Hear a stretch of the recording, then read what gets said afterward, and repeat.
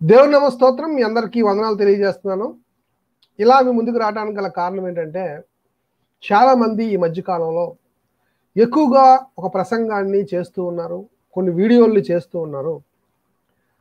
అందులో ముఖ్యంగా ఆ, చాలా రోజులు బట్టి ఉండి క్రైస్తవ క్రైస్తవ్యాన్ని క్రైస్తవ క్రైస్తవ క్రైస్తవ్యానికి సంబంధించిన సిద్ధాంతాలని విమర్శిస్తూ దూషిస్తూ ఇష్టాసారంగా మాట్లాడుతున్న ఒక వ్యక్తి కోసం మాట్లాడాలి ఆ వ్యక్తే మన భాస్కర్ రాజు గారు.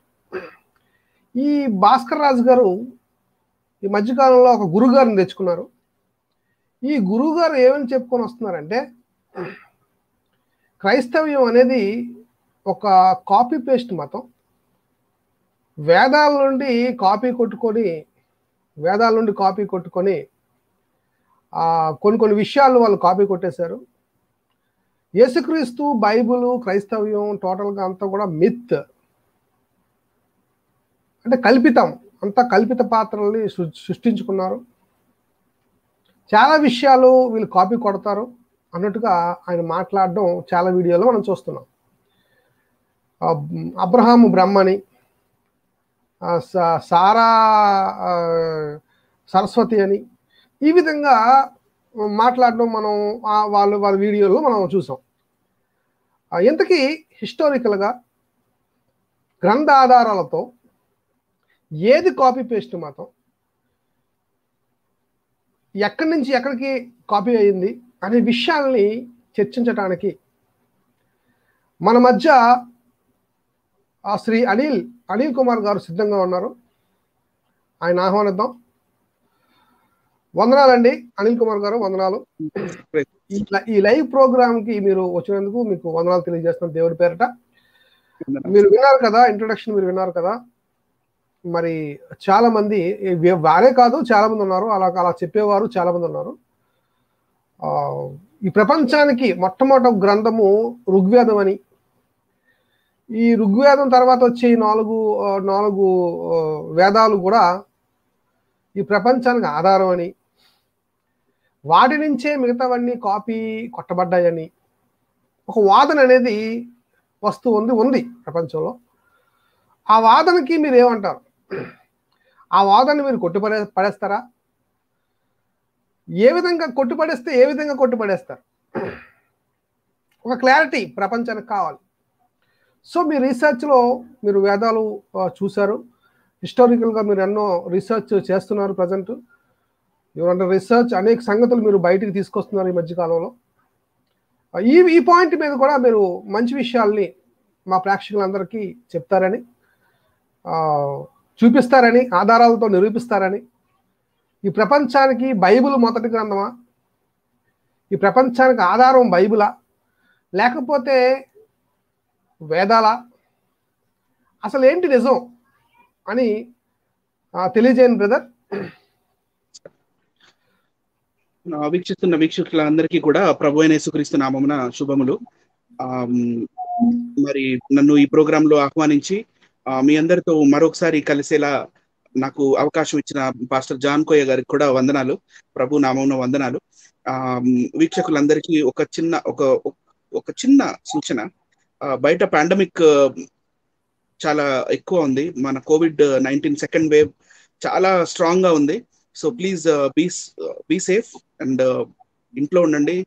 నేనైతే మా ఇంటి గేటుకి uh, చైన్ కట్టేశాను. కావలసిన సామాన్లు అవి మరి నెలసరి అవి సామాన్లు వగేరా ఇవన్నీ ఏమన్నా మెడిసిన్స్ ఏమన్నా కావాలంటే ఒకేసారి మార్కెట్కి వెళ్ళి బాగా శానిటైజ్ చేసుకొని ఇంటికి తెచ్చుకొని కొన్ని రోజులు కొన్ని రోజులు కొద్ది రోజులు ఇంట్లోనే ఉండండి. ఇది నా పర్సనల్ అభిప్రాయం ఇక ఇప్పుడు టాపిక్లోకి జంప్ అవుదాం. త్వరగా త్వరగా టాపిక్లోకి జంప్ అవుదాం.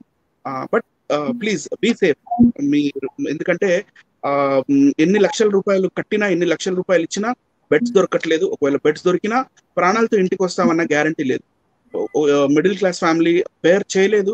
ఒక్క ఫ్యామిలీకి కానీ కోవిడ్ నైన్టీన్ వచ్చిందంటే ఆ ఎక్స్పెన్సెస్ బేర్ చేయలేని పరిస్థితి కాబట్టి ప్లీజ్ స్టే సేఫ్ సో ఇప్పుడు త్వరగా టాపిక్లోకి వెళ్ళిపోదాం. జాన్ కోయ సార్ గారు అడిగినట్టుగా ఆ, అలాగే మళ్ళీ ఇంకా కొంతమంది ఉన్నారు.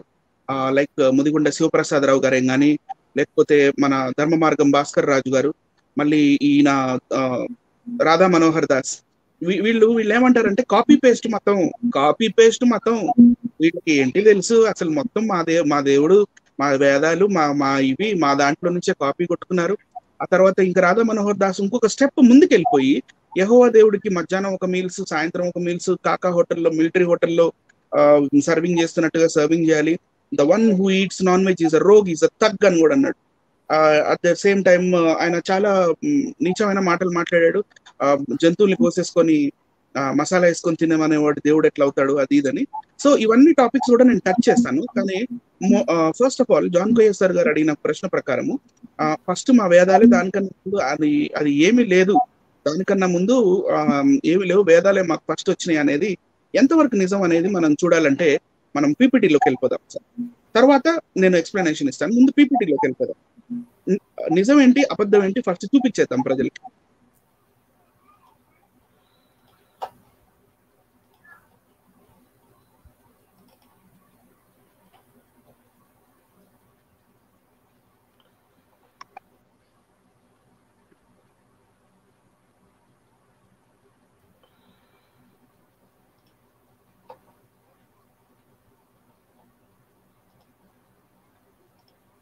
సో జాన్ కోయా సార్ గారు ఆ, ఈ ప్రెజెంటేషన్ ప్రెజెంట్ చేసే ఈ మధ్యలో I like to cover few more points ఇక్కడ మనం ఫస్ట్ ఆఫ్ ఆల్ అసలుకి బైబిల్లో ఆదికాండం మనం చూస్తే ఆదికాండం ఆదికాండం పదో అధ్యాయంలో మనకి నోవాహు కుమారులు ఎవరు ఎవరు ఏ ఏ దేశాలుగా మారారు ఏ ఏ దేశాలుగా అయ్యారు వారి వారి పిల్లలు ఎవరు అనేది చూస్తూ మనం చదువుతూ వెళ్తే మనకి క్లియర్ అయిపోతుంది. సార్ పీపీటీలోకి వెళ్దాం సార్. అయితే ఈయన కావాలని రాధా మనోహర్ దాస్ గారి ఆ, ఫోటో ఈయన దీన్ని నేను చూస్ చేసుకోవడం జరిగింది. ఎందుకంటే అందరికన్నా చాలా స్ట్రాంగ్ కామెంట్స్ చాలా ఎట్లా అంటే షేమ్లెస్ కామెంట్స్ అన్నమాట. షేమ్లెస్ కామెంట్స్ పాస్ చేసింది రాధా మనోహర్ దాసే. సో రాధా మనోహర్ దాస్ కూడా ఈ వీడియో చూస్తాడని నేను అనుకుంటున్నాను. సో నెక్స్ట్ స్లైడ్లోకి వెళ్దాం సార్ మనం ఆదికాండం ఆదికాండం ఆ, పదో అధ్యాయం ఆరో వచనంలోకి వెళ్తే అక్కడ నోవాహు కుమారులు ముగ్గురు ఉంటారు. హాము షేము యాఫెతు. ఈ హాము అంటే పెద్ద కొడుకు. నోవాహు పెద్ద కొడుకు పెద్ద కుమారుడు హాము. హాముకి ఉన్న కుమారులు ఎవరంటే కూషు మిశ్రాయిము పూతు కానాను అనువారు. అంటే ఇక్కడ మిశ్రాయిం అనే వర్డ్ ఉంది. ఆ మిశ్రాయిం అంటే ఏంటంటే ఇక్కడ మిశ్రాయిం అనగా ఐగుప్తు దేశము అని అర్థం. అంటే నేను చాలా వెనక్కి హిస్టరీలోకి తీసుకెళ్తున్నాను సార్. వీక్షిస్తున్న వీక్ష- వీక్షకులు అసలు ఈ టాపిక్కి ఈజిప్ట్కి మనకి ఎలాంటి సంబంధం ఉంది? ఏంటి? ఎక్కడో తీసుకెళ్ళి ఏదో చెప్తున్నాడు అని అనుకోవద్దు. జస్ట్ ఒక ఫైవ్ మినిట్స్ మీరు just sit back and please listen to my explanation what I'm trying to explain so ఇక్కడ హాము కుమారులు కూషు మిశ్రాయిము పూతు కానాను అనువారు so Mizraim is nothing but Misr Misr హిందీలో కానీ మిస్ర్ అంట లేకపోతే కొన్ని లాంగ్వేజెస్లో మిస్ర్ అంటే అది ఈ ఐగుప్తు దేశము. అని మనకి ఈజీగా అర్థమైపోతుంది. ఇప్పుడు నెక్స్ట్ స్లైడ్లో ఐగుప్తు రాజుల చరిత్రకి వెళ్ళి ఒకసారి చూద్దాం. ఐగుప్తు రాజులు ఈ- ఈ హాము కుమారుడు మిశ్రాయము ఐగుప్తు దేశానికి వెళ్ళి ఐగుప్తు రాజులుగా ఒక రాజ్యముగా ఏర్పడి వాళ్ళు ఎలా ఉందో ఇక్కడ చూద్దాము. ఫస్ట్ అంటే మూడు వందల బీసీ మూడు వందల బీసీ నుంచి మూడు వేల BC sorry three thousand BC. అంటే ఈ రోజుకి లగ్భగ్ ఫైవ్ థౌజండ్ ఇయర్స్ కన్నా ఇంకా వెనకాలే అనుకోవచ్చు. ఆ టైం అప్పుడు వీళ్ళు ఎర్లీ జస్ట్ uh, అలా ఫామ్ అవుతుంది. Uh, mm, ఎర్లీ పీరియడ్స్ అన్నమాట. ఆ తర్వాత ఎల్లో కలర్లో ఎర్లీ డైనాస్టిక్ పీరియడ్స్ ఇంకా ఆయా వంశం వాళ్ళు ఆ పరిపాలిస్తూ వచ్చారు. కానీ మనకు ఇంపార్టెంట్ ఏంటంటే నెక్స్ట్ పక్కన ఉన్నది ఓల్డ్ కింగ్డమ్ ఓల్డ్ కింగ్డమ్ ఇది బ్లూ కలర్లో నేను చూపించడం జరిగింది.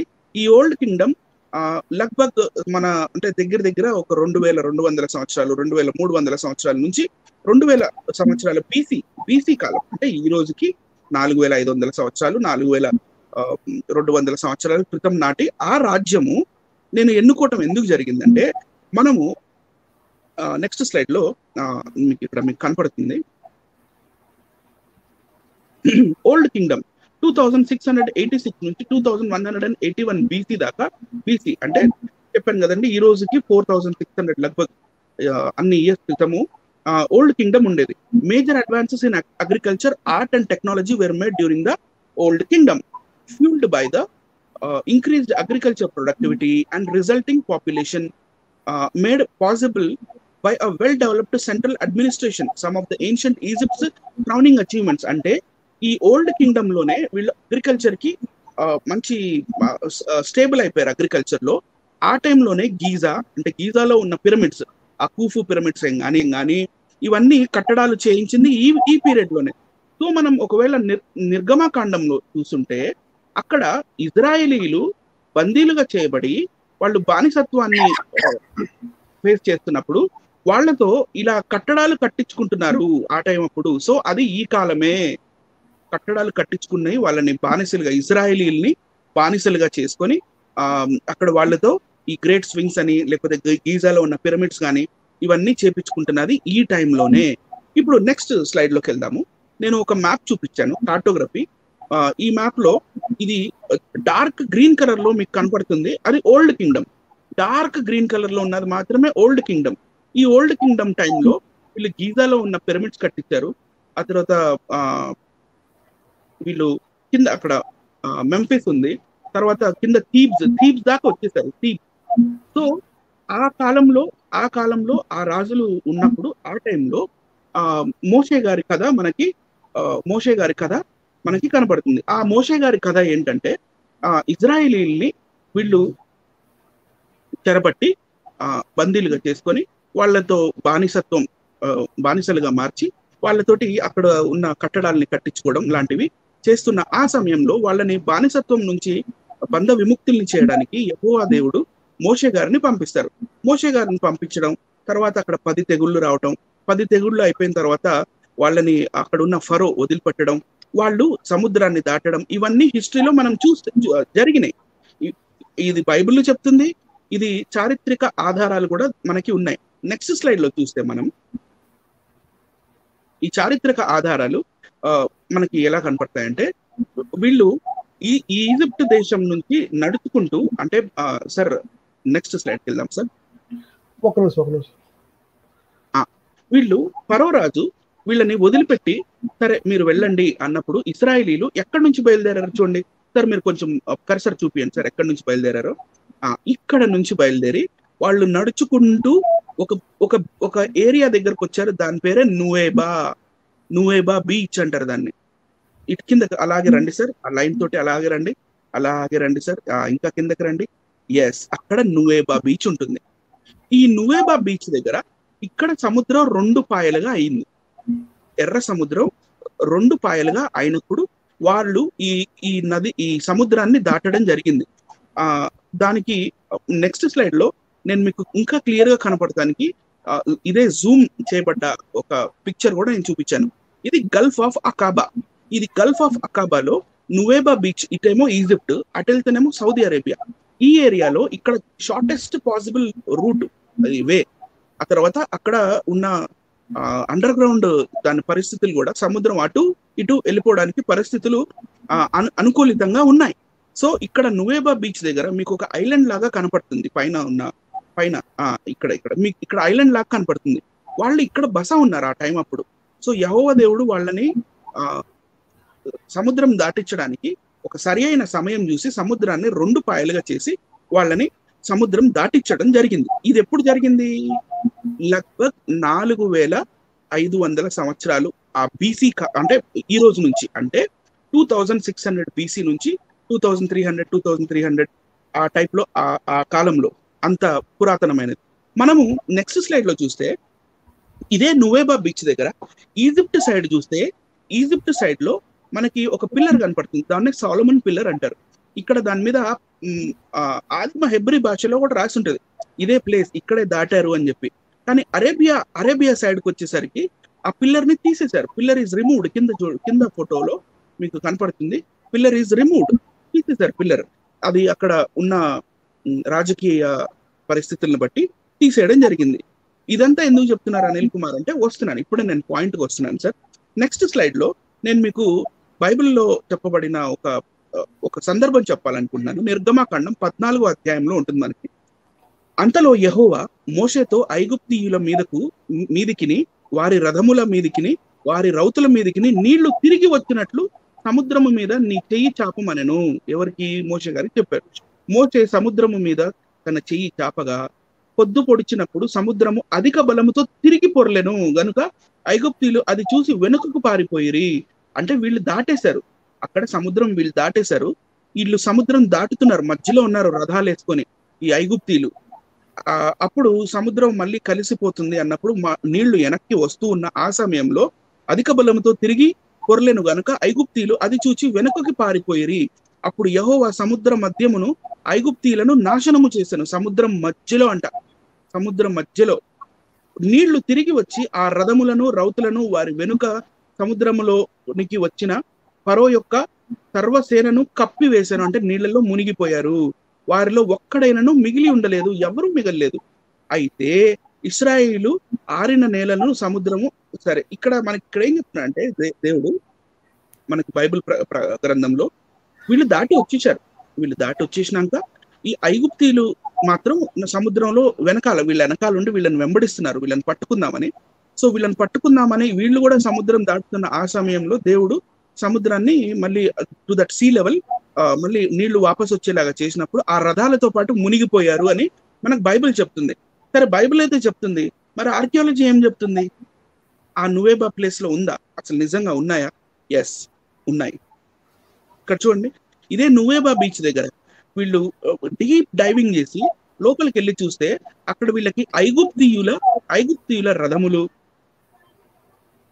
సార్ నా వాయిస్ క్లియర్ ఉందా sir? Clear clear sir clear continue చేయండి. ఐగుప్తీయుల రథములు అది గోల్డ్ గోల్డ్ తోటి కోటింగ్ చేయబడిన రథ చక్రాలు అక్కడ రథ చక్రాలు కూడా విరిగిపోయాను అని పైన మనకు వచనాల్లో రాసి ఉంటది. సో గుర్రాలు వాటి ఎముకలు కూడా మనకి అక్కడ లభ్యం అవుతాయి ఇక్కడ చూడండి. This golden chariot wheel was found at the crossing at Nuweiba Nuweiba beach దగ్గర దొరికింది. It was gold plated four spoked నాలుగు సువ్వలు ఉన్నాయి. అంటే ఫోర్ స్పోక్స్ ఉన్నవి. ఫోర్ స్పోక్స్ వచ్చేసి ఓల్డ్ కింగ్డమ్ వాళ్ళు యూజ్ చేసేది. న్యూ కింగ్డమ్ ఇంకొంచెం కొత్త కింగ్డమ్ వచ్చేసరికి వాళ్ళు సిక్స్ స్పోక్స్ యూజ్ చేశారు. ఆ తర్వాత మోడర్న్ కింగ్డమ్ ఆఫ్ ఈజిప్ట్ వచ్చేసరికి వాళ్ళు ఎయిట్ స్పోక్స్ ఉన్న రథాలు యూజ్ చేశారు. సో వీళ్ళు ఓల్డ్ కింగ్డమ్కి చెందిన వాళ్ళే. It was gold plated four spoked so fragile because the wood wood has dissolved. అందులో ఆ గోల్డ్ ప్లేటింగ్కి లోపల ఉన్న చెక్క అది నీటికి అది చీకిపోయింది అది లేదు ఇట్ డిజాల్వ్ అయిపోయింది. Coral will not grow on gold. Gold మీద అక్కడ ఉన్న కోరల్స్ అంటే సముద్రంలో పెరిగే చిన్న చిన్న చెట్లు చిన్న చిన్న బ్యాక్టీరియా తోటి ఫామ్ అయ్యే ప్లాగ్ ప్లాక్ లాంటిది అక్కడ ఫామ్ అవ్వదు గోల్డ్ మీద. ఎందుకంటే gold it is a purest metal కాబట్టి ఆ మెటల్ మీద ఫామ్ అవ్వదు. Coral will not grow on gold and the gold itself preserve the wheel. ఆ గోల్డ్ వీల్ని ప్రిజర్వ్ చేసింది అని ఇది వీళ్ళు చెప్తున్నారు. నెక్స్ట్ స్లైడ్లో చూస్తే మనకి ఇంకా క్లియర్ ఎవిడెన్సెస్ కనపడుతుంటాయి. ఇక్కడ చూడండి. ఇక్కడ మీకు వీల్ కనపడుతుంది. వీల్ హబ్ మీకు వీల్ హబ్ కనపడుతుంది కదా? ఇది చారియట్ ఇది రథ గుర్రాలతో పాటు నడిచే రథం యొక్క ఆ, చారెట్ వీల్స్ అవి. అవి ఇప్పటికీ నువేబా బీచ్ దగ్గర లోపల సముద్రంలో ఉన్నాయి. ఇది మీకు గోల్డ్ కలర్లో రైట్ సైడ్ కనపడుతుంది కానీ అది మీకు అర్థం అవ్వడానికి వేసిన బొమ్మ కానీ అది యాక్చువల్గా కోరల్ లాగా ఉండిపోయి అక్కడ సముద్ర గర్భంలో ఉండిపోయింది.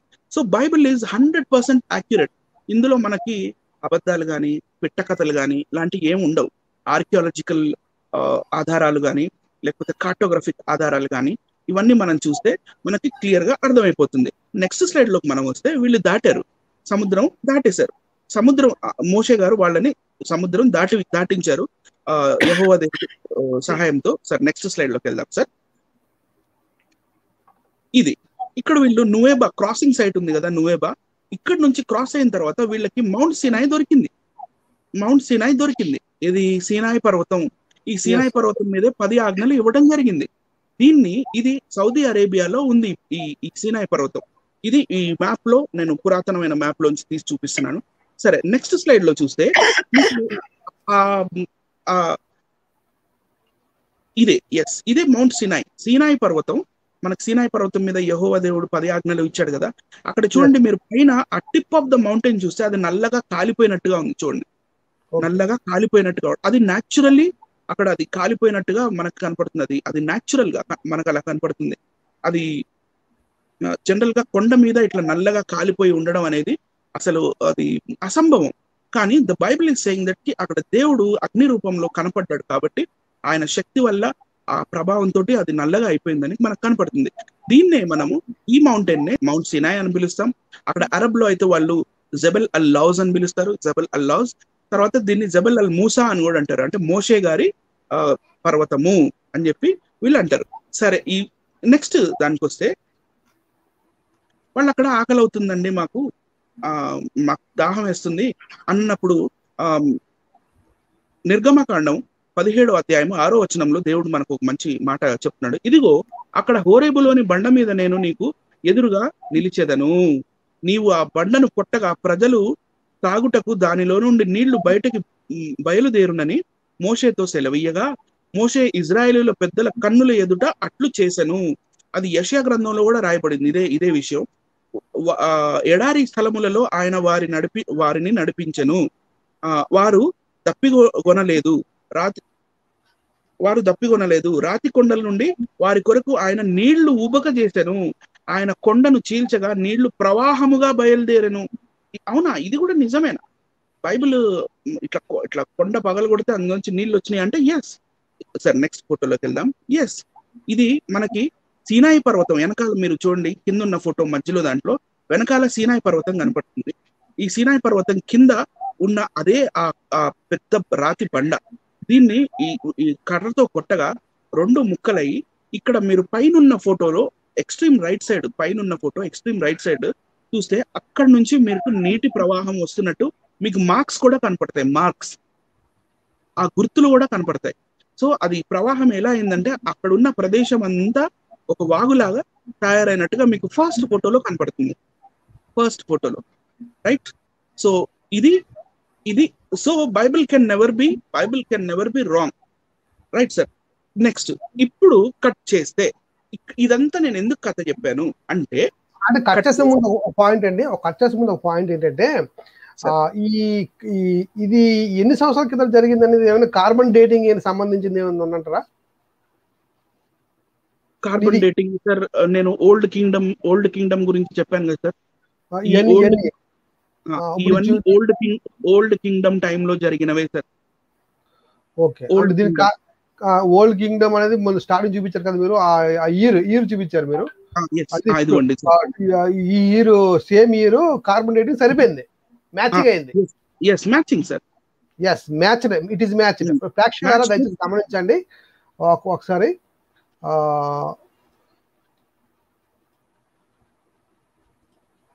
ఒకసారి గమనించాలి. ప్రేక్ష- ప్రేక్షకులారా ఒకసారి గమనించాలి.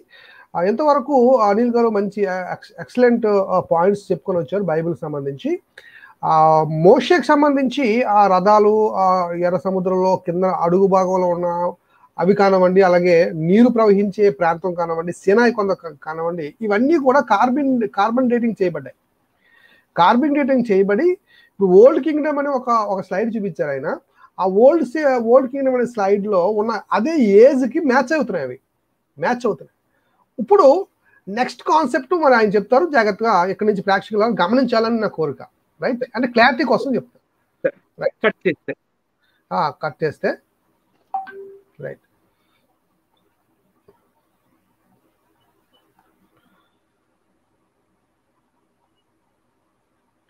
రైట్ ఇక్కడ నుంచి వద్దాం. ఉమ్, కట్ చేస్తే ఇదంతా నిర్గమకాండంలో ఉంటుంది. నిర్గమకాండం తర్వాత మనకు వచ్చేది లేవి కాండం. కరెక్టేనా సార్ రైట్ ఎస్ లేవి కాండం. ఈ లేవి కాండంలో మనకి ఆ యహోవా దేవుణ్ణి ఆరాధించే పద్ధతి యహోవా దేవుణ్ణి ఎలా ఆరా- ఆరాధించాలి? లేకపోతే యహోవా దేవుడు దహన బలి ఆయనకి ఎలా అర్పించాలి? దహన బలి అర్పించే ఆ స్టైల్ ఏంటి? లేకపోతే ఆ పాప పరిహారం కోసం మీరు ఏం చేయాలి?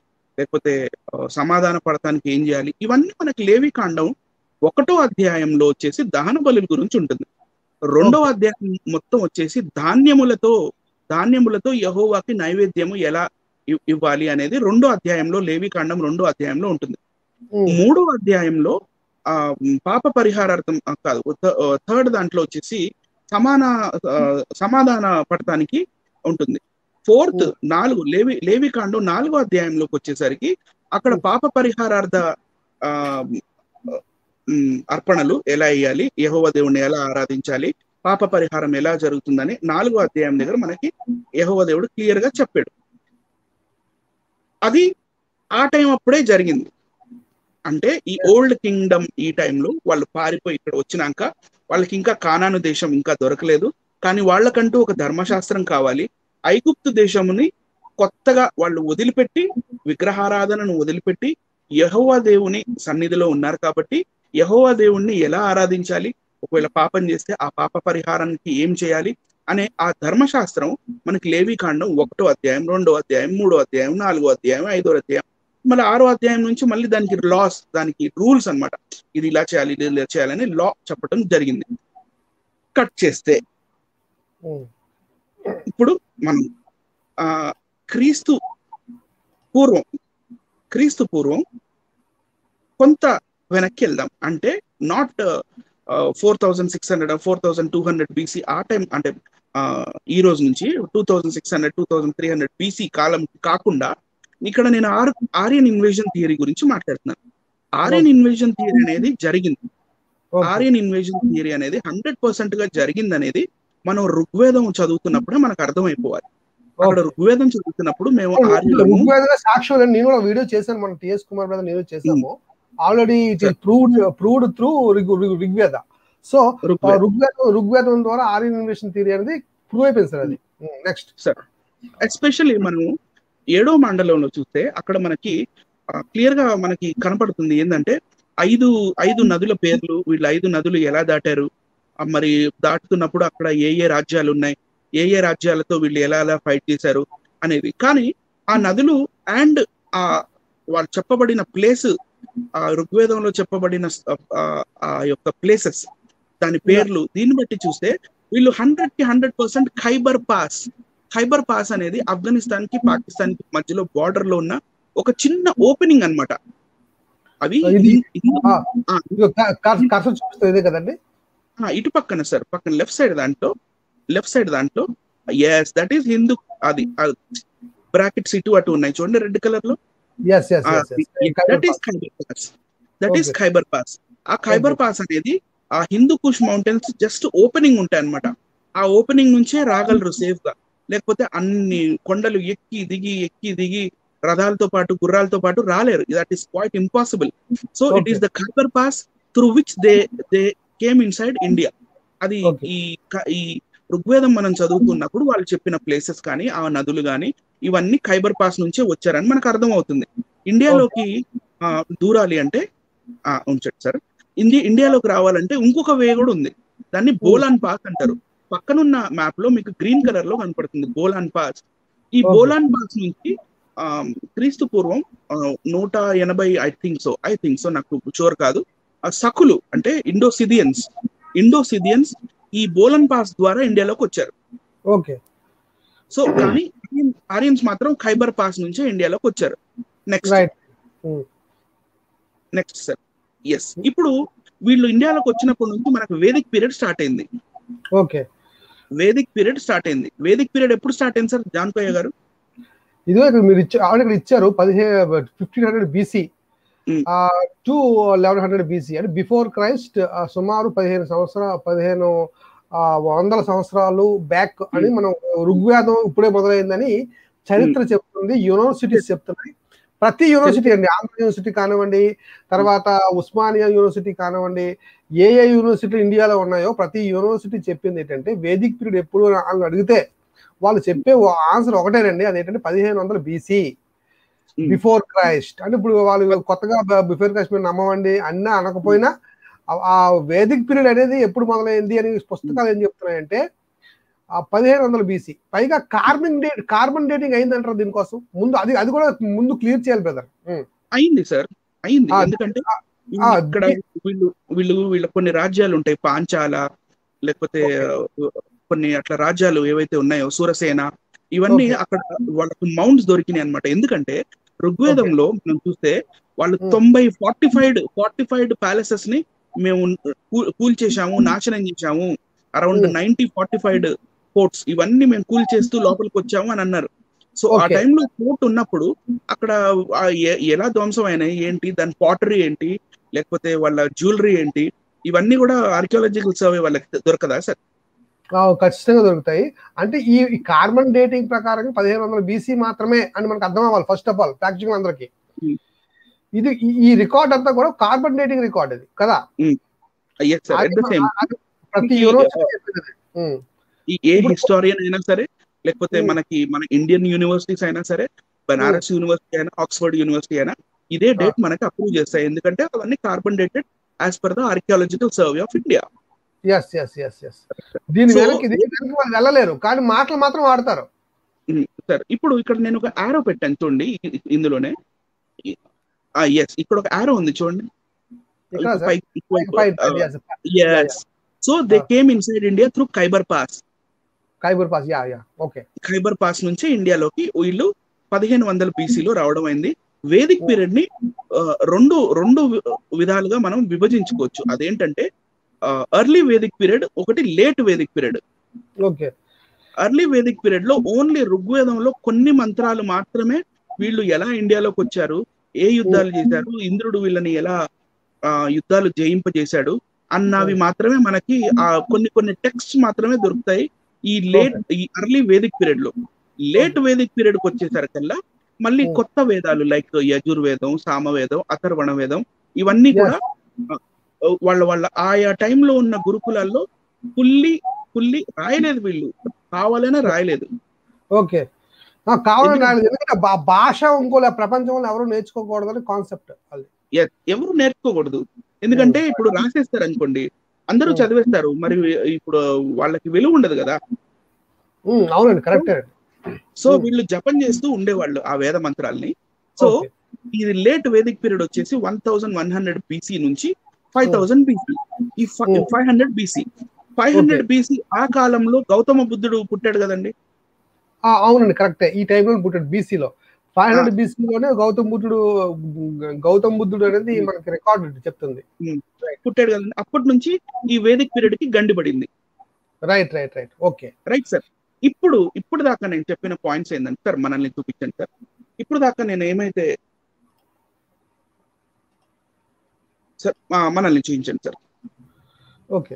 ఇప్పుడు దాకా నేను చెప్పిన పాయింట్స్ ఏంటంటే మోషే గారి కాలంలో ఆయన ఐగుప్తు రాజుల దగ్గర నుండి ఇస్రాయేలీల్ని ఎప్పుడు చెర నుంచి విముక్తి పొందించి సముద్రం దాటి మళ్ళీ వాళ్ళు అద్దరిని వెళ్ళిన తర్వాత సీనాయి పర్వతం మీద పది ఆజ్ఞలు. అది దేవుడు కూడా రాసిచ్చింది వాళ్ళకి సినాయిటిక్ స్క్రిప్ట్ అంటారు దాన్ని సినాయిటిక్ లిపి. ఓకే. సినాయిటిక్ మీరు ఎవరన్నా గూగుల్ చేయండి సినాయిటిక్ స్క్రిప్ట్ అని మీకు దొరుకుతుంది. ఆ సినాయిటిక్ స్క్రిప్ట్లోనే అది రాసి ఇవ్వడం జరిగింది. తర్వాత వీళ్ళకి ఒక ధర్మశాస్త్రం కావాలన్నప్పుడు అదే టైంలో సమ్ ట్వంటీ లేకపోతే సమ్ ట్వంటీ ఫైవ్ ఇయర్స్ తర్వాత వీళ్ళకి ఒక ధర్మశాస్త్రం కూడా మెల్లిమెల్లిగా మెల్లిమెల్లిగా అంచెలంచెలుగా వీళ్ళకి ధర్మశాస్త్రం రాయడం జరిగింది. So this all happened some four hundred six hundred to four hundred four four thousand six hundred to four thousand three hundred years ago some కానీ ఈ వేదిక్ పీరియడ్ అనేది just three thousand five hundred years క్రితం నుంచి start అయింది. Yeah yeah yeah and ended two thousand five hundred years ago okay right sir ఇప్పుడు ఏది పాతది? ఖచ్చితంగా బైబిలే పాతదండి. పైగా మన దాసరాజు రంగాచార్య బుక్స్లో స్టార్టింగ్లో కొన్ని ఎక్స్ప్లెనేషన్ ఇచ్చారు ఆయన. లిపి కోసం ఎక్స్ప్లెనేషన్ ఇచ్చారండి. బ్రహ్మాండం నిందా చూశాను. ఆ. లిపి కోసం ఎక్స్ప్లెనేషన్ మొత్తం ఈ పుస్తకాలన్నీ కూడా మేము చూస్తున్నాం స్టడీ చేస్తున్నాం. దాసరథి రంగాచార్య వారిది. ఈయన ఏం చెప్తున్నాడంటే లిపి దేవనాగరి లిపి మాత్రమే ఉంది అని ఒప్పించుకున్నారండి ఈయన. మీ పుస్తకాలు చూసుకోవచ్చు ఇట్ ఇస్ ప్రూవ్డ్. దేవనాగరి లిపిలో మాత్రమే వేదాలు రాయబడ్డాయి తప్ప దానికంటూ ఒక లిపి లేదని ఈయన కన్ఫర్మ్ చేసేసారు పైగా దేవనాగరి లిపి అనేది ఇట్ ఈస్ ఏ లాంగ్వేజ్ అది. It is a Dravidian language. అదే మనం అదే మనం ముదిగొండ శివప్రసాద్ రావు గారిని అడిగితే శారదా లిపి అని చెప్తారు ఆయన గారు. ఆయన గారు శారదా లిపి అని ఈ బౌద్ధంలో ఉన్న కాన్సెప్ట్ని తీసుకొస్తారు.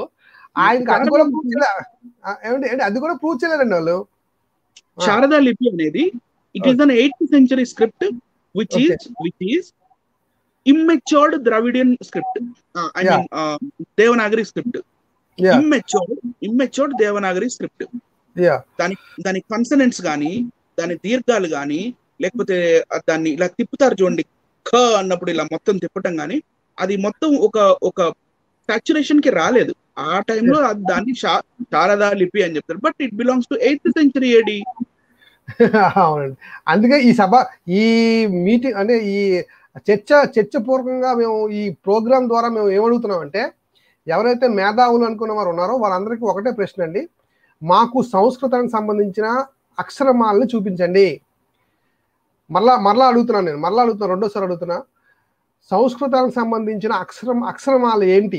అది మాకు దయచేసి చూపిస్తే కనుక మేము నేర్చుకొని ఋగ్వేదం మన ఎవరు దా ఎవరు మన భాస్కర్ రాజు గారు ఎలాగైతే ఋగ్వేదాన్ని చక్కగా ఆయన తర్జుమా చేస్తున్నారట అంటే ఇది ఫెయిల్ ఇది రాంగ్ అట. అలాగే ఎవరెవరైతే ఇంగ్లీష్లో రాశారో మ్యాక్సిమంలో రాశారు తర్వాత చాలా మంది రాశారు కదండి. ఋగ్వేదాన్ని రాశారు ఇంగ్లీష్లో తర్జుమా ట్రాన్స్లేట్ చేశారు. అవన్నీ తప్పులటండి అవన్నీ తప్పులట. దాశరథి రంగాచార్య గారు అయితే దాశరథి రంగాచార్య గారు అయితే మొత్తం తప్పులు రాశారట. ఈయన గారు మాత్రం సూపర్ సూపర్ రాశారట. తెలుగులో ఆ తెలుగులో రాశారట. మనకి వస్తుంది త్వరలోనే ఆయన ఋగ్వేదాన్ని కానీ ఒక ప్రోగ్రామ్లో భాస్కర్ రాజు గారు చెప్పారే ఆయన ఇంగ్లీష్ మీడియం అని ఆయన తెలుగు రాదని. మరి ఆయన ఎలా తర్జుమా చేస్తున్నారు? ఏమో మన మన కరెక్ట్గా నాకు కూడా కన్ఫర్మేషన్ తెలియదు ఇంగ్లీష్లో రాస్తున్నారు తెలుగులో రాస్తున్నారు అనేది మరి చూద్దాం. ఆయన ఆయన- వేదాలు తెచ్చేసి ఇంతమంది రాంగ్ అయిపోయి ఆయన ఎలాగ రైట్ అయిపోతాయని డౌట్ మాకు. పైగా ఆరు సమాజంలో ఉన్నారు మరి ఆరు ఆరు వాళ్ళతో కూడా ఈయన- ఢీకో ఢీకొనాలి ఆరు వాళ్ళు కూడా ఏం ఊరుకోరండి. వాళ్ళు కూడా ఏం ఊరుకోరు. మీకు అర్థమవుతుందండి? ఆర్య సమాజం వారు కూడా ఎవరు ఎవరైనా వచ్చి వచ్చి రాసేస్తారంటే వాళ్ళు కూడా ఏం ఊరుకోరు. వాళ్ళతో కూడా ఈయన డిబేట్ చేయాల్సి ఉంటుంది. గమనించాలి ఇప్పుడు మనం కాపీ పేస్ట్ మతంలోకి వద్దాం సార్. ఓకే రైట్ ఇప్పుడు ఖైబర్ పాస్లో ఎలా వచ్చారు ఏంటి? అది మనం ఇవన్నీ చూసాం కదా. సో మీరు. కాపీ పేస్ట్ అని ఒక క్వశ్చన్ అడిగారు. సమ్ థర్టీ సిక్స్ మినిట్స్ క్రితం అడిగారు మీరు నన్ను. హిస్టరీ చెప్తూ చెప్తూ చెప్తూ ఎందుకంటే రేపటి రోజున వీళ్ళు వాదిస్తారు. లేదు. మా సంస్కృతికి ముందు అని చెప్పి. కానీ అది ఇట్స్ ఇట్స్ లై అది అది లేదు. సరే నెక్స్ట్ సార్ మ- మ- మరొక విషయం ఒక- పాయింట్ చెప్తాను బ్రదర్ డాక్టర్ బిఆర్ అంబేద్కర్ గారు హిందూ మతంలో చిక్కుముళ్ళు అనే చాప్టర్స్లో ముందు ఉపోద్ఘాతం ఒకటి ఇచ్చారండి. అందులో క్లియర్గా చెప్పేశాడండి. ఉపోద్ఘాతము అలాగే మొదటి మొదటి చాప్టర్లో కానీ మొదటి చిక్కుముళ్ళలో కానీ రెండో చిక్కుముళ్ళలో కానీ ఈ మూడు ఈ మూడు అంశాల్లో మనం చూస్తే సనాతన ధర్మం అనేది అసలు ఎక్కడ లేదు ముందు. ఇది సనాతన ధర్మం అనే పేరు దీనికి సెట్ అవ్వదు. ఈ మతానికి సెట్ సెట్ అవ్వదని ఆయన ఆయనే చెప్పేశారు. ఎవరు అంబేద్కర్ గారు చెప్పేశారు. Hmm. చెప్తే అంత చెప్పపోతే అంత. ఆ సమా సనాతన ధర్మం చెప్పుకో వరకు చెప్పుకున్న వరకు సరిపోద్ది కానీ యాక్చువల్లీ ప్రూవ్ కాలేదు అది. అది మనకు పాయింట్ రైట్ మనం మళ్ళీ సైడ్లోకి వెళ్ళిపోతాం. కంటిన్యూ. చేయండి. నెక్స్ట్ దాంట్లో నెక్స్ట్ స్లైడ్. ఎస్ ఇదే కదా point number one copy paste దాంట్లోకి వద్దాం sir okay point number one ఆలయ నిర్మాణ పద్ధతి ఆలయాలు ఎలాగైతే నిర్మిస్తారో గుళ్ళు ఎలాగైతే కడతారో ఆలయ నిర్మాణ పద్ధతిని కాపీ పేస్ట్ చేసింది ఎవరు? ఫస్ట్ బైబిలే కదా. బైబిల్ రైట్ సో నిర్గమాకాండం నలభయో అధ్యాయంలో దేవుడు ఎలా మందిరాన్ని కట్టాలి గుడారం ఎలా వేయాలి అని చెప్పారు కదా. చెప్పారండి. చాలా జాగ్రత్తగా విత్ డిజైన్స్ ఇప్పుడు అదే ప్లాన్ నేను మీకు ఇక్కడ చూపిస్తున్నాను చూడండి. ఓకే. కొంచెం జూమ్ చేయగలరా సార్? ప్రజలకి కొంచెం ఇంకా జూమ్ అవుతుందేమో. ఫుల్ జూమ్ అయింది. Full screen full zoom full zoom sir okay okay. Okay right.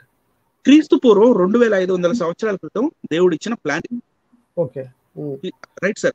ఇక్కడ చూపి ఇలా చూపిస్తాను okay. Okay okay. Right sir. Okay. Right. ఇప్పుడు ఫోటోకి వెళ్దాం సార్. ఇప్పుడు మనకి అక్కడ టెంట్ వేసినప్పుడు టెబర్నికల్ అక్కడ గుడారం వేసినప్పుడు ఇక్కడ కాళ్ళ కాళ్ళ లాగా మనకి ఎక్కడ ఏదైతే రెండు కనపడుతున్నాయి పిల్లర్స్ అక్కడ నుంచి ఎంట్రన్స్ ఉంటుంది. First of all Okay. అక్కడే. అక్కడ. నుంచి ఎంట్రన్స్ ఉంటుంది. ఎంట్రన్స్ అయిన తర్వాత అక్కడ ఒక పార్చ్ ఉంటుంది. అక్కడే అక్కడే యహోవ దేవుడు నాకు దహన బలులు వగేరా ఇవన్నీ ఇవ్వాలి వధించే ప్లేస్ ఇదే అని చెప్పి Hmm. చెప్పారు. తర్వాత ఇది ఆ, లోపల ఒక పెద్ద హాల్ లాగా ఉంటుందండి. టెంట్ అయినా సరే సోలమన్ గారు కట్టించిన సోలమన్ రాజు కట్టించిన ఆ, Hmm. మందిరం అయినా సరే టెంట్ అయినా సరే వాళ్ళ లోపల కొంచెం అది హోలీ ప్లేస్ అంటారు దాన్ని. అక్కడ. కేవలం కొంతమంది లేవీలు మాత్రమే అక్కడ ఉండాలి. అక్కడ దీపాలు కూడా పెట్టాలి. దీపాలు. పెట్టాలి. ఆ తర్వాత అక్కడ అక్కడ ధూపం కూడా వేస్తారు. ఓకే. Right sir. ఇంకొంచెం లోపలికి వెళ్తే హోలియస్ట్ ఆఫ్ ద హోలీ అని ఉంటుంది అక్కడ. ఓకే. హోలియస్ అయితే హోలియస్ ఎస్ ఎస్ అక్కడ పైన కనబడుతుంది ప్రేక్షకులు గమనించండి. ఈ పైన ఇక్కడ. Holy of holies holies okay right. Arch arch ఉంది కదా ఇక్కడ? అక్కడ నిబంధన మందసం పెట్టి ఉంటుంది సార్. ఓకే ఓకే రైట్ నిబంధన మందసం తుమ్మ చెట్టు తు- తుమ్మ వుడ్డుతో చేయబడి ఉంటుంది. బంగారు. పోత పోసి ఉంటుంది.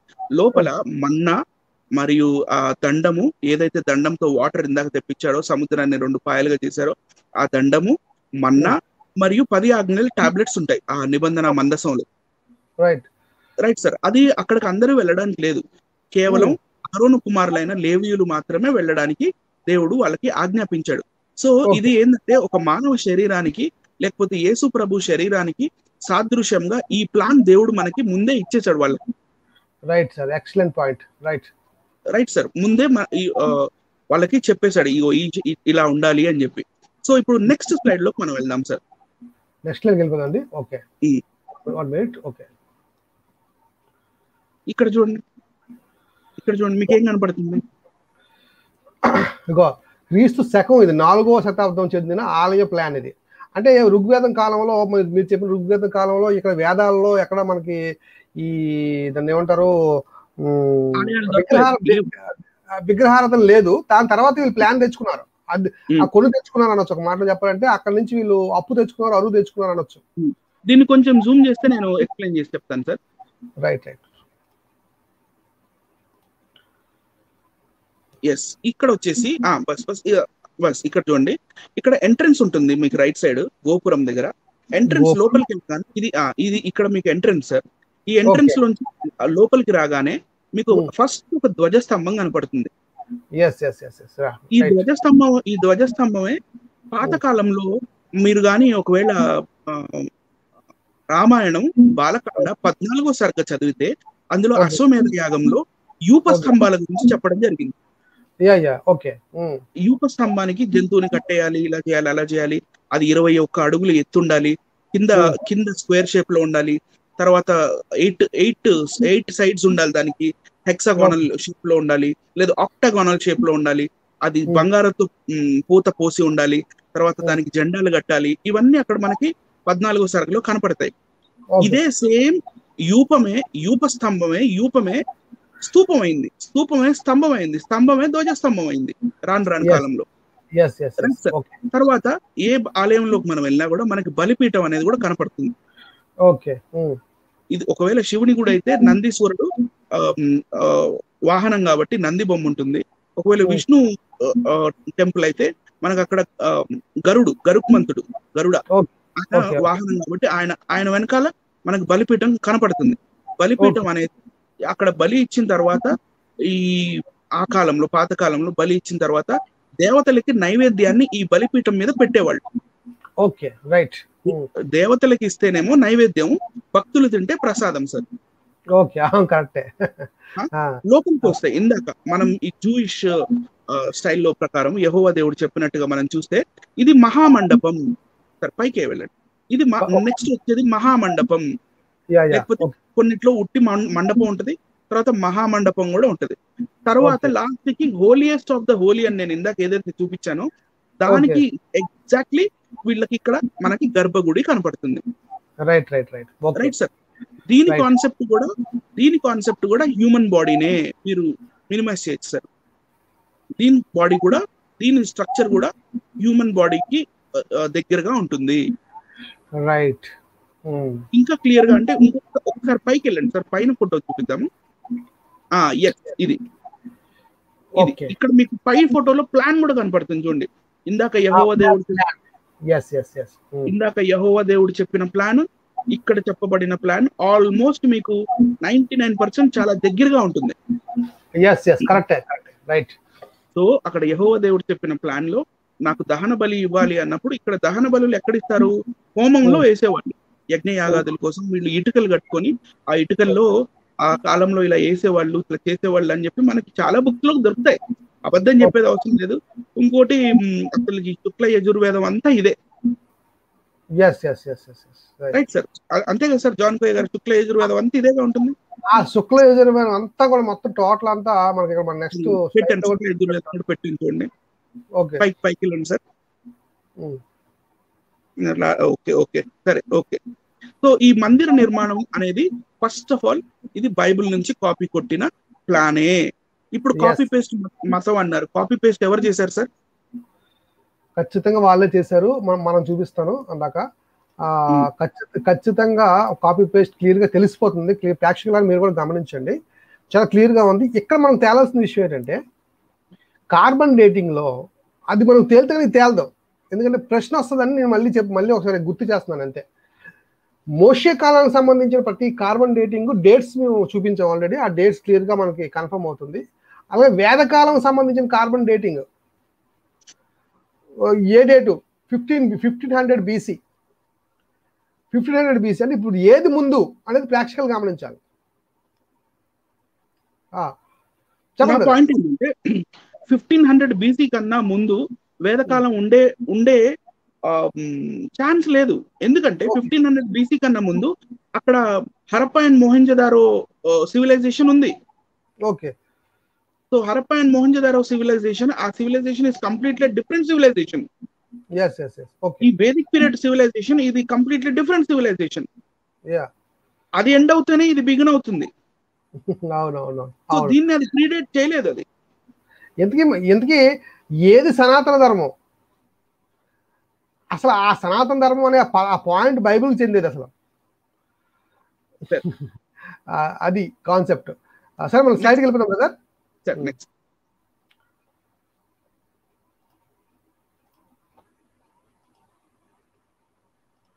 ఓకే నెక్స్ట్ దాంట్లోకి వెళ్దాం సార్ పాయింట్ నెంబర్ టూ అని point number two okay number ఇందాకేమో ఆలయ నిర్మాణం కాపీ పేస్ట్ అది మీకు అర్థమైపోయింది. ప్రతి ప్రతి ఒక్కరికి అర్థమైపోవాల్సిందే. ఎందుకంటే క్లియర్గా మీకు డౌట్ ఉంటే ఆ, వీక్షిస్తున్న వీక్షకులు ఆ, మీరు నిర్గమకాండం నలభయో అధ్యాయం మీరు క్లియర్గా చదవండి. మీరు మీరు మైండ్లో మ్యాప్ వేసుకోండి. యెహోవా దేవుడు చెప్పింది. లేకపోతే ఒక పేపర్ మీద మెల్లిగా ఒక బొమ్మ వేసుకుంటూ చదవండి. మీకు అర్థమైపోతుంది. రైట్ రైట్ అండి. యహోవ దేవుడు చెప్పిన దహన బలి ప్రక్రియ కాపీ అండ్ పేస్ట్ చేసింది ఎవరు? ఓకే చూడండి పాయింట్ నెంబర్ టూ. యెహోవా. దేవుడు చెప్పిన దహన బలి ప్రక్రియని కాపీ పేస్ట్ చేసింది ఎవరు అనేది ఈ ఈ పాయింట్లో మనం ఆ, తేల్చి చెప్పేద్దాము. ఇది శుక్ల యజుర్వేద సంహిత. ఈ శుక్ల యజుర్వేద సంహితలో ఉన్న చాప్టర్స్ అన్ని ఈ బలులకు సంబంధించిన చాప్టర్సే సో. ఈ శుక్ల యజుర్వేద సంహిత జోలికి ఇప్పుడు నేను వెళ్ళానంటే ఈ రాత్రంతా లైవ్ అయిపోతుంది సార్. అవునవును. ఎందుకంటే ఇందులో రకరకాల మంత్రాలు ఉంటాయి. ఓ కత్తి నువ్వు ఎముకల్ని బాగా చీల్చు. ఓ కత్తి. నువ్వు మాంసంని బాగా చీల్చు. ఓ. ఓ ఓ మృగమా లేకపోతే ఓ గోవా నువ్వు మంచిదానివి లేకపోతే. నువ్వు స్వర్గ స్వర్గ ప్రాప్తి వస్తుంది నీకు. ఓ ముక్క నువ్వు మంచిగా ఉడుకు. లేట్లే సో ఇవన్నీ ఓ ఆ మంత్రాలు కూడా అవన్నీ ఉంటాయి అందులో. లేవనడానికి లేదు ఇవన్నీ ఇవన్నీ చెప్పాల్సి వస్తుందని ఇవన్నీ తెలుసండి భాస్కర్ రాజు గారికి వీళ్ళందరికీ. కానీ వీళ్ళు ఏం చెప్తారంటే అసలు వేదాల్లో అసలు బలి లేవు అనేసి మొత్తం. టాపిక్ లేపేస్తున్నారు వీళ్ళు. Okay okay. వేదాల్లో బలి లేనప్పుడు మరి. వేరే బుక్కుల్లో బలులు ఎలా వచ్చాయో చూపిద్దాంలేండి మనం ఇప్పుడే చూపించేద్దాము. సరే సార్. నెక్స్ట్ దాంట్లోకి వెళ్దాం సార్. నెక్స్ట్ దాంట్లోకి వెళ్తే ఇక్కడ ఇది శ్రీదేవి భాగవతం అండి. శ్రీదేవి భాగవతం నవమ స్కందం నలభై ఐదో అధ్యాయము. ఇది నేను సెలెక్ట్ చేస్తున్నాను. ఇక్కడ మనకి లిస్ట్ ఆఫ్ కొన్ని లిస్ట్ ఒక లిస్ట్ ఇచ్చాడు. లిస్ట్ ఆఫ్ యజ్ఞ యాగాలు ఇచ్చాడండి. సెకండ్. పారాగ్రాఫ్ నేను చదువుతున్నాను. జాగ్రత్తగా వినండి. సార్ మీరు కర్సర్ మూవ్ చేస్తూ ఉండండి సార్. ప్రజలకి. అర్థమయ్యేట్టుగా ఇది యజ్ఞుడు చేసిన దక్షిణ స్తోత్రము. యజ్ఞకాలంలో పఠిస్తే యజ్ఞాలు విశేష ఫలితాలు ఇస్తాయి. ఆ యజ్ఞాలు ఏంటి ఇక్కడ నుంచి మొదలు. రాజసూయ వాజపేయ గోమేధ నరమేధ అశ్వమేధ లాంగల యజ్ఞ విష్ణు యజ్ఞ కుబేర యజ్ఞ ధనదాన భూమిదాన ఇష్టాపూర్త నిర్మాణ ఫలదాన గజదాన అంటే ఎలిఫెంట్ దానం చేయడం అన్నమాట. ఓకే సార్ ధనదానం అంటే ధనాన్ని దానం చేయడం భూమి దానం అంటే భూమిని దానం చేస్తూ యజ్ఞం చేయటం ఫలదానం అంటే ప్రథమ ఫలం ఉంటుంది కదా సార్? అది. తర్వాత గజదాన గోమే గోమేదక దాన ఆ, లోహదాన స్వర్ణదాన రత్నదాన తామ్రదాన శివయజ్ఞ రుద్రయజ్ఞ శుక్రయజ్ఞ వరుణయాగ ఇక్కడ బాక్స్లో నేను ఒకటి పెట్టాను. వైరి మర్దన వైరి మర్దన కండక యజ్ఞ శుచి. యజ్ఞ ధర్మ యజ్ఞ. పాప విమోచన యజ్ఞ పాప విమోచన అని కూడా ఒక యజ్ఞం ఉంటుంది సార్. Right sir? తర్వాత ఇది నేను చదవను. డాష్. డాష్ యాగ వాణి యాగాది సమయాల్లో. సో ఇవన్నీ ఇలాంటి ఇన్ని లిస్ట్ ఆఫ్ యాగాలు ఉంటాయి వీళ్ళకి. ఓకే, ఈ. యాగాల్లో ఈ యాగాల్లో మీరు మనం ఒకసారి ఆలో రాజసూయ యాగంలో బలి జంతు బలి ఉంది. వాజపేయ యాగంలో జంతు బలి ఉంది. గోమేధ అంటే గోవుని అది మేధిస్తారు మేధిస్తారంటే వధించటం. నరమేధ అంటే నరుణ్ణి. అశ్వమేధ అంటే అశ్వాన్ని. మళ్ళీ మన వరుణ యాగ అని ఉంది కింద ఫోర్త్ లైన్లో మనకు కనపడుతుంది. వరుణ యాగ ఈ వరుణ యాగం కూడా ఈ మనకి ఈ విశ్వామిత్రుడు వచ్చి ఈ సునస్సేపుణ్ణి రక్షిస్తాడు చూడండి సునస్సేపుణ్ణి నరబలి ఇస్తున్నప్పుడు. అది వరుణ. యాగం సో వరుణ యాగం వర్షాలు పడాలన్నా కూడా నరబలి ఇచ్చేవాళ్ళు ఆ టైంలో. మనకి ఇదే దేవి భాగవతంలో ఇంకా రామాయణంలో కూడా సునస్సేపుడు కథ దొరుకుతుంది. సునస్సేపుడు కథ మనకు ఋగ్వేదంలో కూడా దొరుకుతుంది. ఓకే. రైట్ సార్ సో ఈ వరుణ యాగం కూడా నర బలి లాంటిదే. సో ఇప్పుడు ఒక ఎగ్జాంపుల్కి నేను ఒకటి చెప్తున్నాను. ఒకటి చూపిస్తాను సార్ లేవి కాండం నాలుగో అధ్యాయం నుంచి ముప్పై రెండో వచనం నుంచి నేను చదువుతాను. జూమ్ అక్కర్లేదు సార్ నేను ఆ పెద్ద అక్షరాలే పెట్టాను. కనపడుతుంది. ఆ. లేవి కాండం నాలుగో అధ్యాయం ముప్పై రెండో వచనం దగ్గర నుండి యహోవ దేవుడు ఎలా మనకి చెప్తున్నారో చూడండి. ఎవరైనా ఒక వ్యక్తి పాపం కోసం బలి అర్పణగా లోపం లేని ఒక ఆడగొర్రెను తీసుకురావాలి. అతడు పాపం కోసం బలి అర్పణ కాబోయేదాని తలపై తన చెయ్యి ఉంచాలి. తరువాత దాన్ని దహన బలి అర్పించే చోట వధించాలి. అప్పుడు దాని రక్తాన్ని యాజకుడు వేలితో తీసుకొని దహన బలిపీఠం పైన కొమ్ములకు పూయాలి. Right sir? మిగిలిన రక్తాన్ని దహన బలిపీఠం అడుగు భాగంలో పారబోయాలి. అంటే రక్తం తినకూడదు తాగకూడదు కాబట్టి పారబోయాలి. తరువాత శాంతి బలి పశువు తర్వాత శాంతి బలి. పశువు సెకండ్ సార్. పశువు కొవ్వుని వేరు చేసినట్టే దీని. కొవ్వు అంతా అంటే ఇందాక అంటే శాంతి బలిలో ఎలాగైతే కొవ్వుని వేరు చేస్తారో ఇక్కడ కూడా అలాగే కొవ్వుని వేరు చేయండి అని చెప్తున్నారు సార్. శాంతి తరువాత శాంతి బలి పశువు కొవ్వుని వేరు చేసినట్టే దీని కొవ్వు అంతా తీయాలి. యాజకుడు యహోవాకు దహన బలి అర్పించే చోట బలిపీఠం పైన దాన్ని దహించాలి. ఈ విధంగా యాజకుడు ఆ వ్యక్తి యాజకుడు ఆ వ్యక్తి పాపం కోసం పరిహారం చేస్తాడు. అప్పుడు ఆ వ్యక్తికి క్షమాపణ కలుగుతుంది. ఎలా సార్? కొవ్వుని ఏం చేయాలి సార్? వేరు చేసి వేరు చేసి ఇచ్చేయాలి. ఓకే. కొవ్వుని వేరు చేసి అంటే దహన బలిగా ఆ కొవ్వుని అలా చేస్తే ఆ, ఈయనకి ఆ పాప క్షమాపణ జరుగు జరుగుతుంది. ఇప్పుడు వాల్మీకి రామాయణము బాలకాండ పద్నాలుగో సర్క నా వాయిస్ నాకేం పడుతుంది సార్. హలో. సార్ ఆ, చెప్పండి చెప్పండి. వాల్మీకి రామాయణము బాలకాండ పద్నాలుగో సర్గ సార్ నా వాయిస్ నాకే పడుతుంది మీ వాయిస్ మీకే వినపడుతుందా హలో చూడండి. హలో. హలో. Okay okay. చూడండి సార్. హలో. వాల్మీకి రామాయణం బాలకాండ పద్నాలుగో సర్గలో ముప్పై నాలుగో శ్లోకం యొక్క తాత్పర్యం అవుతున్నాను సార్. ఓకే. ఇక్కడ ఏం జరుగుతుందంటే అశ్వమేధ యాగం జరిగింది. అశ్వమేధ యాగం జరిగిన తర్వాత గుర్రాన్ని వాళ్ళు చంపేశారు. చంపేసినాక వాళ్ళు ఆ గుర్ర శరీరం యొక్క అవయవాల్ని వగేరా తీశారు. తీసిన. తర్వాత ఏం చేశారో చూడండి. దశరథుడు దశరథుడు చేస్తున్న అశ్వమేధ యాగం అన్నమాట. ఇంద్రియ నిగ్రహవంతుడగు వ- వంతుడును ఉత్తమ జ్ఞాన సంపన్నుడు అగు ఋత్విక్కు ఆ అశ్వము యొక్క వపను తీసి యథాశాస్త్రముగా పక్వము చేసెను. ఓకే ఏం తీశాడు? వపను తీసి. ఓకే. రైట్ సార్ అప్పుడు నెక్స్ట్ థర్టీ ఫైవ్లో దశరథుడు తగిన సమయమున శాస్త్రానుసారముగా తన పాపమును తొలగించుకున్నటకి వపాధూప గంధమును వాసన చూచెను. ఎవరు కాపీ కొట్టారు ఇది? వాసన వాసన చూడడం. వపని యా యా అంటే జంతువు యొక్క ఫ్యాట్ ఏదైతే ఉందో ఆ ఫ్యాట్ని వాసన Hmm. చూడడం అనేది ఈ ప్రక్రియ దాన్ని ఫ్యాట్ని తీసేయాలి దాన్ని మంటల్లో వేయాలి కుక్కం చేయాలి దాని వాసన చూడాలి. వాసన చూస్తే పాపం పోతుంది. మీ పాపం దేవుడు క్షమిస్తాడు అనే ఈ కాన్సెప్ట్ ఎలా కాపీ కొట్టారో కనపడుతుంది సార్ మనకి? చాలా క్లియర్గా ప్రేక్షకులారా మీరు కూడా గమనించండి. ఈ వాసన చూసే అనే కాన్సెప్ట్ చాలా వీళ్ళు ప్రశ్న కూడా వేశారండి వీళ్ళు. చాలా సార్లు మీ యహోదావుడికి ఇంపైన సువాసన కావాలి ప్రశ్న అని చెప్పి వీళ్ళు చాలా సందర్భాల్లో మనల్ని చాలా ప్రశ్నలు ఈ- పాయింట్ మీద ఒక్క సమస్య మనం చూపిస్తాను. ఈ పాయింట్ మీద చాలా ప్రశ్నలు వేశారు.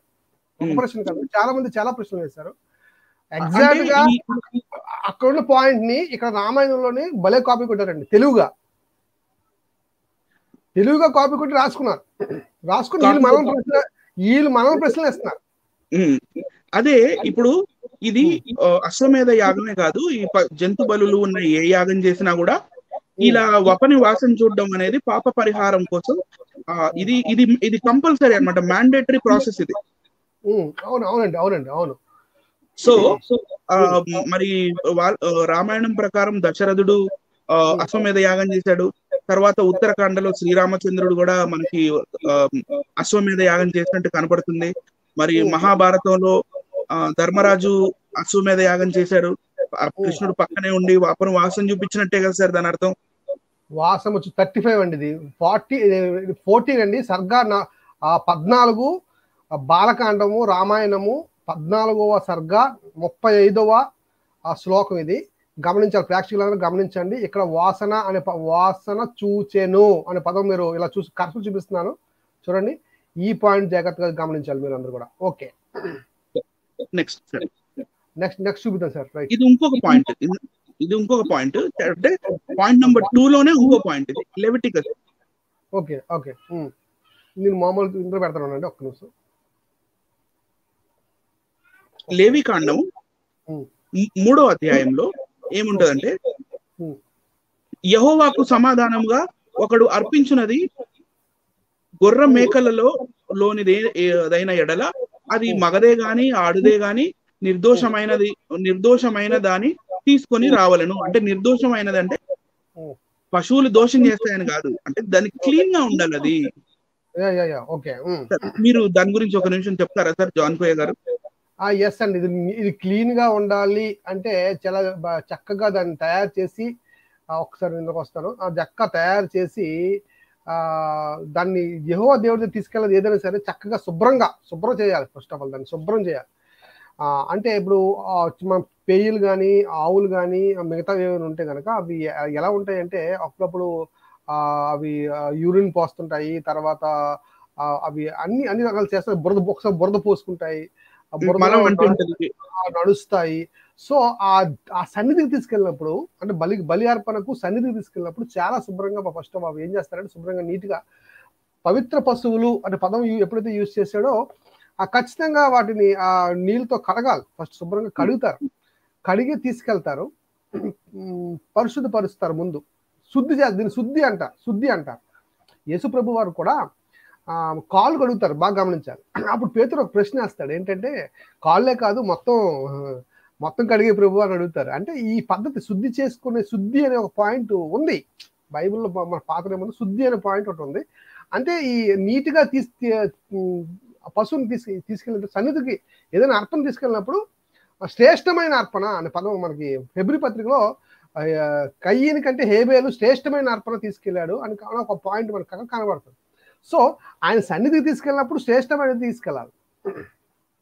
సో ఇది ఇక్కడే కాదండి. నేను శుక్ల శుక్ల యజుర్వేదంలో కూడా పాయింట్స్ తీసాను నేను. సేమ్ ఆరో అధ్యాయం ఆరో అధ్యాయం.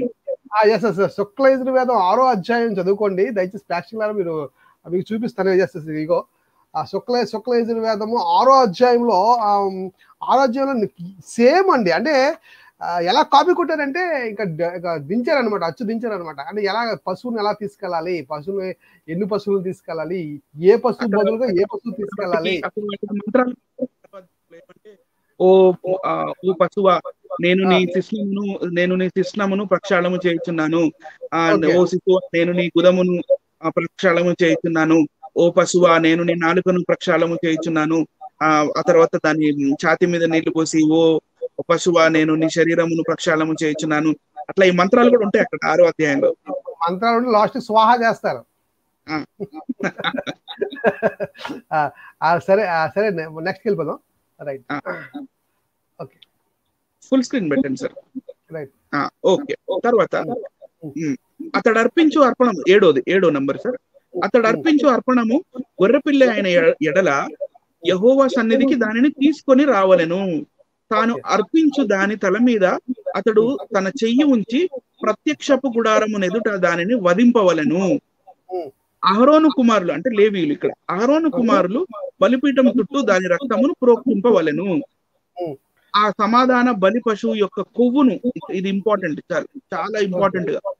ఆ సమాధాన బలి పశువు యొక్క కొవ్వును ముడ్డి పూస మొదలుకొని కొవ్విన తోక అంతటిని అంత్రములలోని కొవ్వును అంత్రముల మీద కొవ్వును అంతటిని రెండు మూత్ర గ్రంథులను అంటే కిడ్నీస్ గురించి చెప్తున్నాడు. మూత్ర గ్ర- గ్రంథులను వాటి మీద డొక్క డొక్కల పైన కొవ్వును మూత్ర గ్రంథుల మీద ఉన్న కాలేజము అంటే లివర్.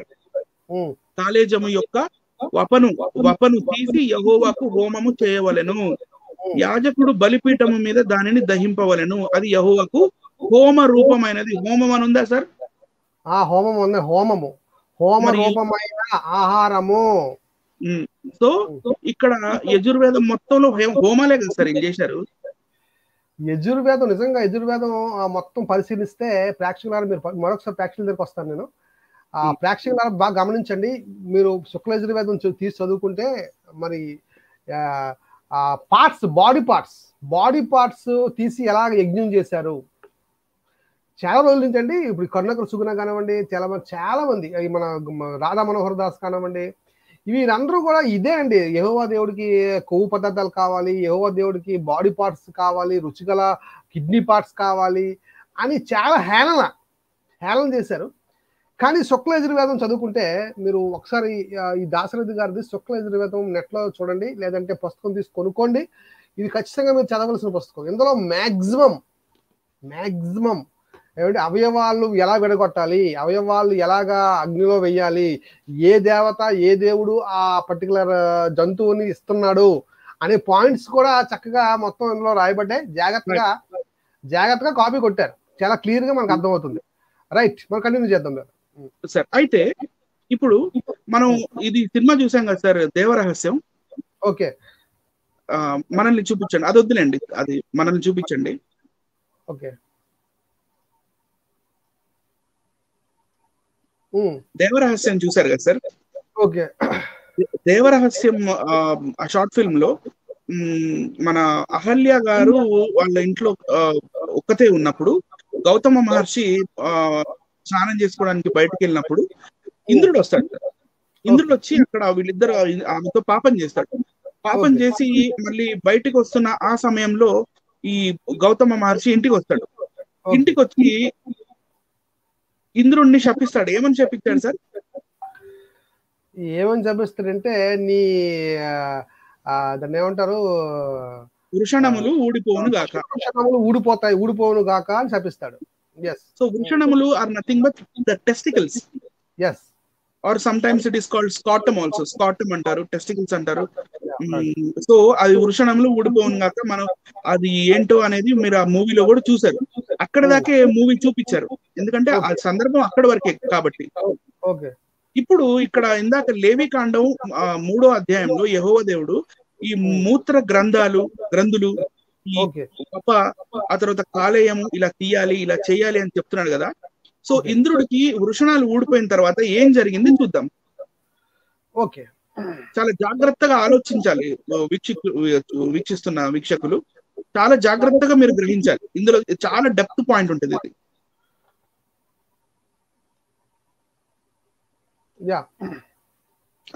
ఇది వాల్మీకి రామాయణం బాలకాండ నలభై తొమ్మిదవ సర్గ. నలభై తొమ్మిదవ సర్గ. ఈ నలభై తొమ్మిదవ సర్గలో ఇక్కడ ఏముంటదంటే అండ మీరు ఒక్కసారి కర్సర్ చూపించండి ప్రజలకి. ఆ, అండములు పడిపోవుటచే దిగులు చెందిన దేవేంద్రుడు అంటే ఇంద్రుడు అగ్ని మొదలగు దేవతలతోనూ ఋషి సంగము స- సంగమములతోనూ ఆ చారణులతోనూ మహాత్ముడైన గౌతమునకు కోపము కలిగించి అతనికి తపస్సునకు విఘ్నము చేయుట ద్వారా నేను దేవతా కార్యము సాధించి తిని కోపముతో నన్నతడు అండములు లేనివానిగా చేసి అహల్యను కూడా పరిత్యదించి పరిత్యదించినాడు.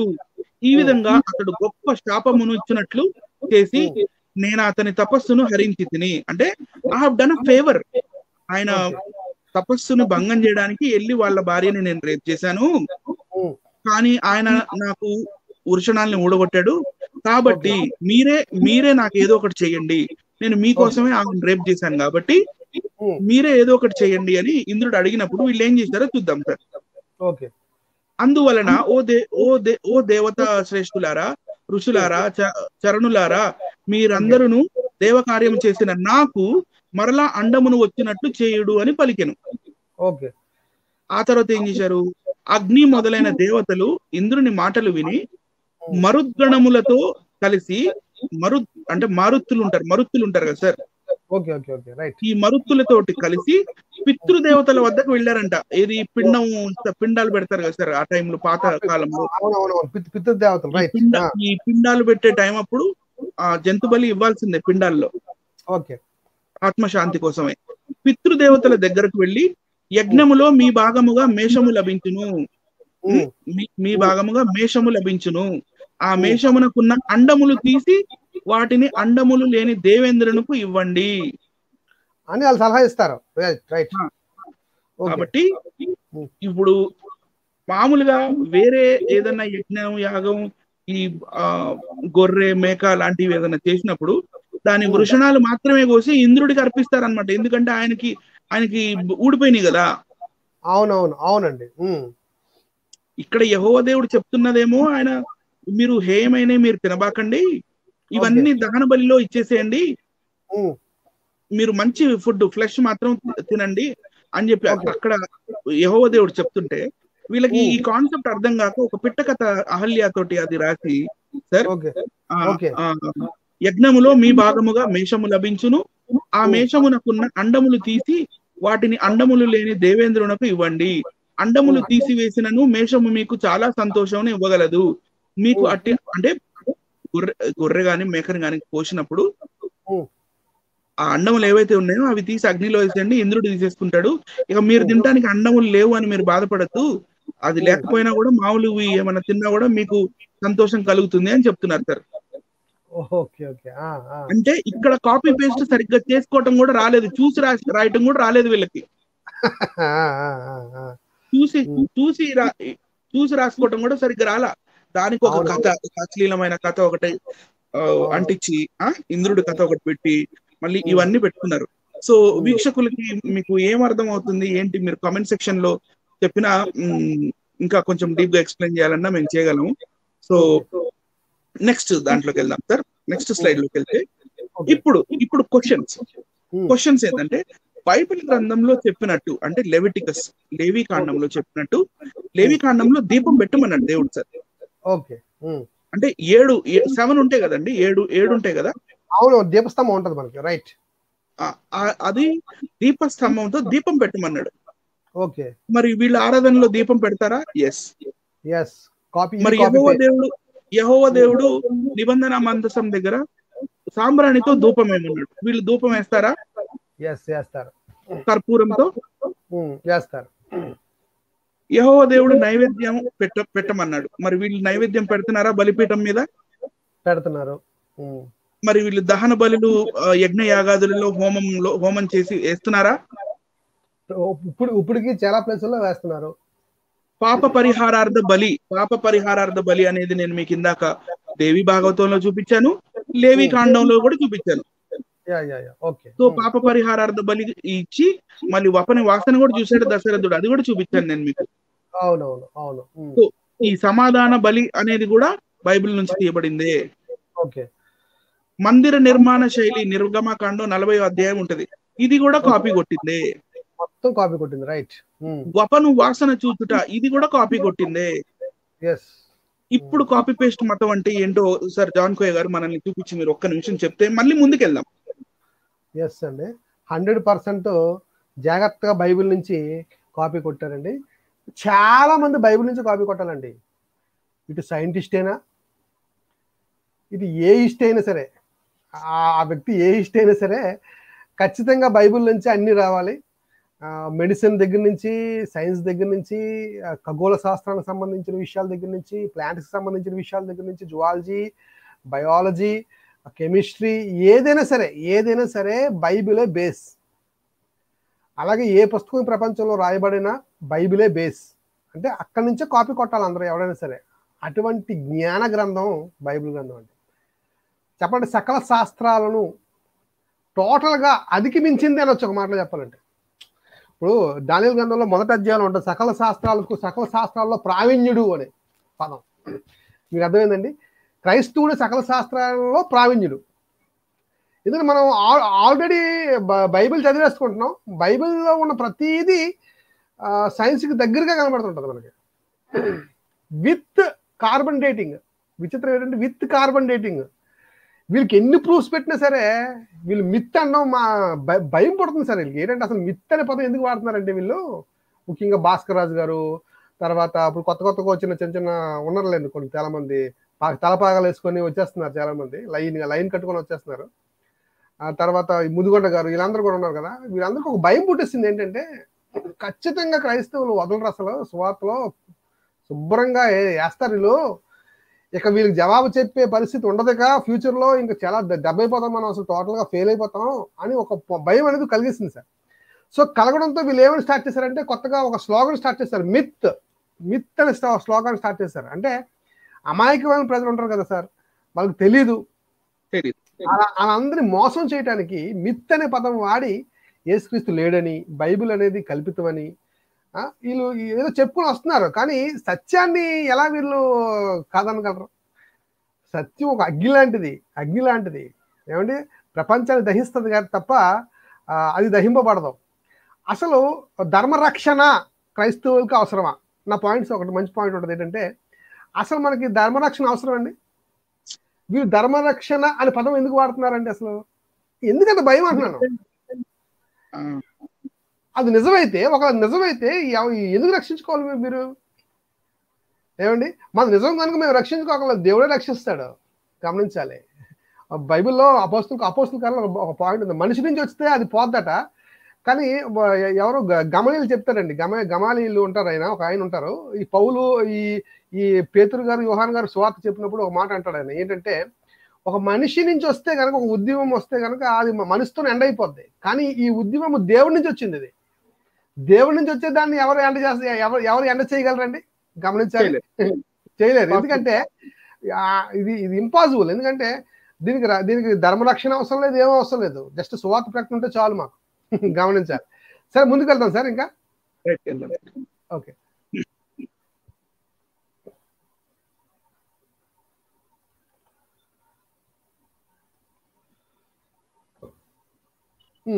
ఇది ఎనిమియా గ్రంథం.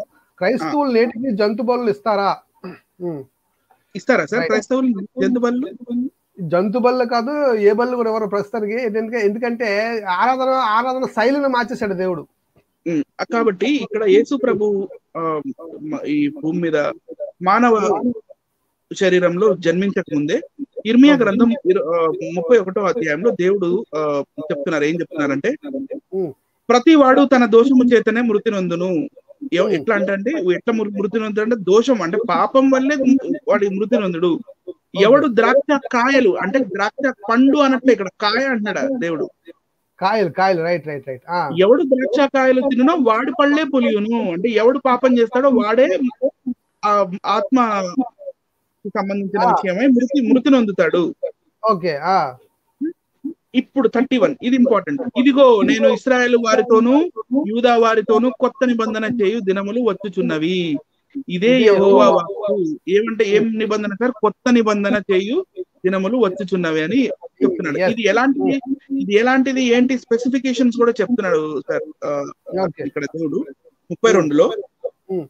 అది ఐగుప్తులో నుండి వారి వారిని రప్పించుటకై నేను వారి వారిని చెయ్యి పట్టుకొనిన దినమున వారి పితరులతో నేను చేసిన నిబంధన వంటిది కాదు. ఇప్పుడు దాకా నేను హిస్టరీ చూపించాను కదా సార్? అలాంటిది కాదు. అలాంటి ఆలయాలు ఉండవు. ఎప్పుడైతే గల్ఫ్ ఆఫ్ అకాబా దగ్గర నువేబా బీచ్ దాటి వీళ్ళు వచ్చారో కానాను దేశాన్ని వెతుకుతూ ఉన్నప్పుడు ఆ టైంలో ఎలాంటి నిబంధనలు ఇచ్చానో ఇది అలాంటిది కాదు అని దేవుడు చెప్తున్నారు సార్. నేను వారి పెనిమిటినై అయినను వారు ఆ నిబంధనను భంగము చేసుకుని ఇదే యహో వాక్కు. ఇక్కడ దాకా చాలు. ఓకే రైట్ సార్ కొత్త నిబంధన ఇస్తా అన్నాడు. మరి. కొత్త నిబంధన ఇచ్చాడా లేదా అనేది నెక్స్ట్ దాంట్లో చూద్దాం సార్ యా. మత్తయి వార్త ఇరవై ఆరో అధ్యాయము ఇరవై ఆరో వచనం దగ్గర నుంచి చూస్తే వారు భోజనము చేయుచుండగా యేసు ఒక రొట్టెను పట్టుకొని వారిని ఆశీర్వదించి దానిని ఆశీర్వదించి విరిచి తన శిష్యులకు ఇచ్చి మీరు తీసుకొని తినుడి. ఇది నా శరీరము అని చెప్పాను. ఎందుకు ఎందుకు పాత నిబంధన కాలంలో గొర్రెని. లేకపోతే ఒక ఎద్దుని లేకపోతే మేకని వీళ్ళు బలులు ఇచ్చేవాళ్ళు యా యా యా ఓకే ఆ మాంసమును తినేవాళ్ళు. యెహోవాతో బల్లని మేము పాలు పంచుకున్నాము. యహోవా దేవుడితో బల్లలో పాలు పంపులు పొందాము అని వాళ్ళు తృప్తి పడుతుండేవారు. ఓకే ఉమ్, అది పాత నిబంధన. సో ఇక్కడ. దేవుడు ఏం చెప్తున్నాడంటే ఆ వారు భోజనము చేయకుండగా యేసు ఒక రొట్టె పట్టుకొని దానిని ఆశీర్వదించి విరిచి తన శిష్యునికి శిష్యులకు ఇచ్చి మీరు తీసుకొని తినుడి ఇది నా శరీరం అనెను అంటే ఇది ఆత్మకు సంబంధించింది సార్. Right sir.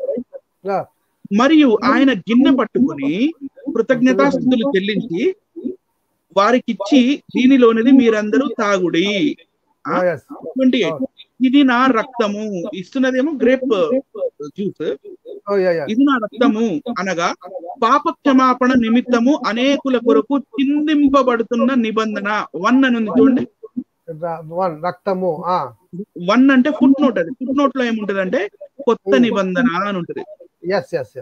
అవును. రైట్ సార్ ఇది నా రక్తము అనగా పాప క్షమాపణ నిమిత్తము అనేకుల కొరకు చిందింపబడుతున్న కొత్త నిబంధన రక్తము అని చదవాలి మనం అర్థం చేసుకోవాలి. సో యేసు. ప్రభుకి ముందే తెలుసు ఆయన చనిపోతాడు మన పాపాల కోసమై ఆయన రక్తాన్ని చిందిస్తాడు అని.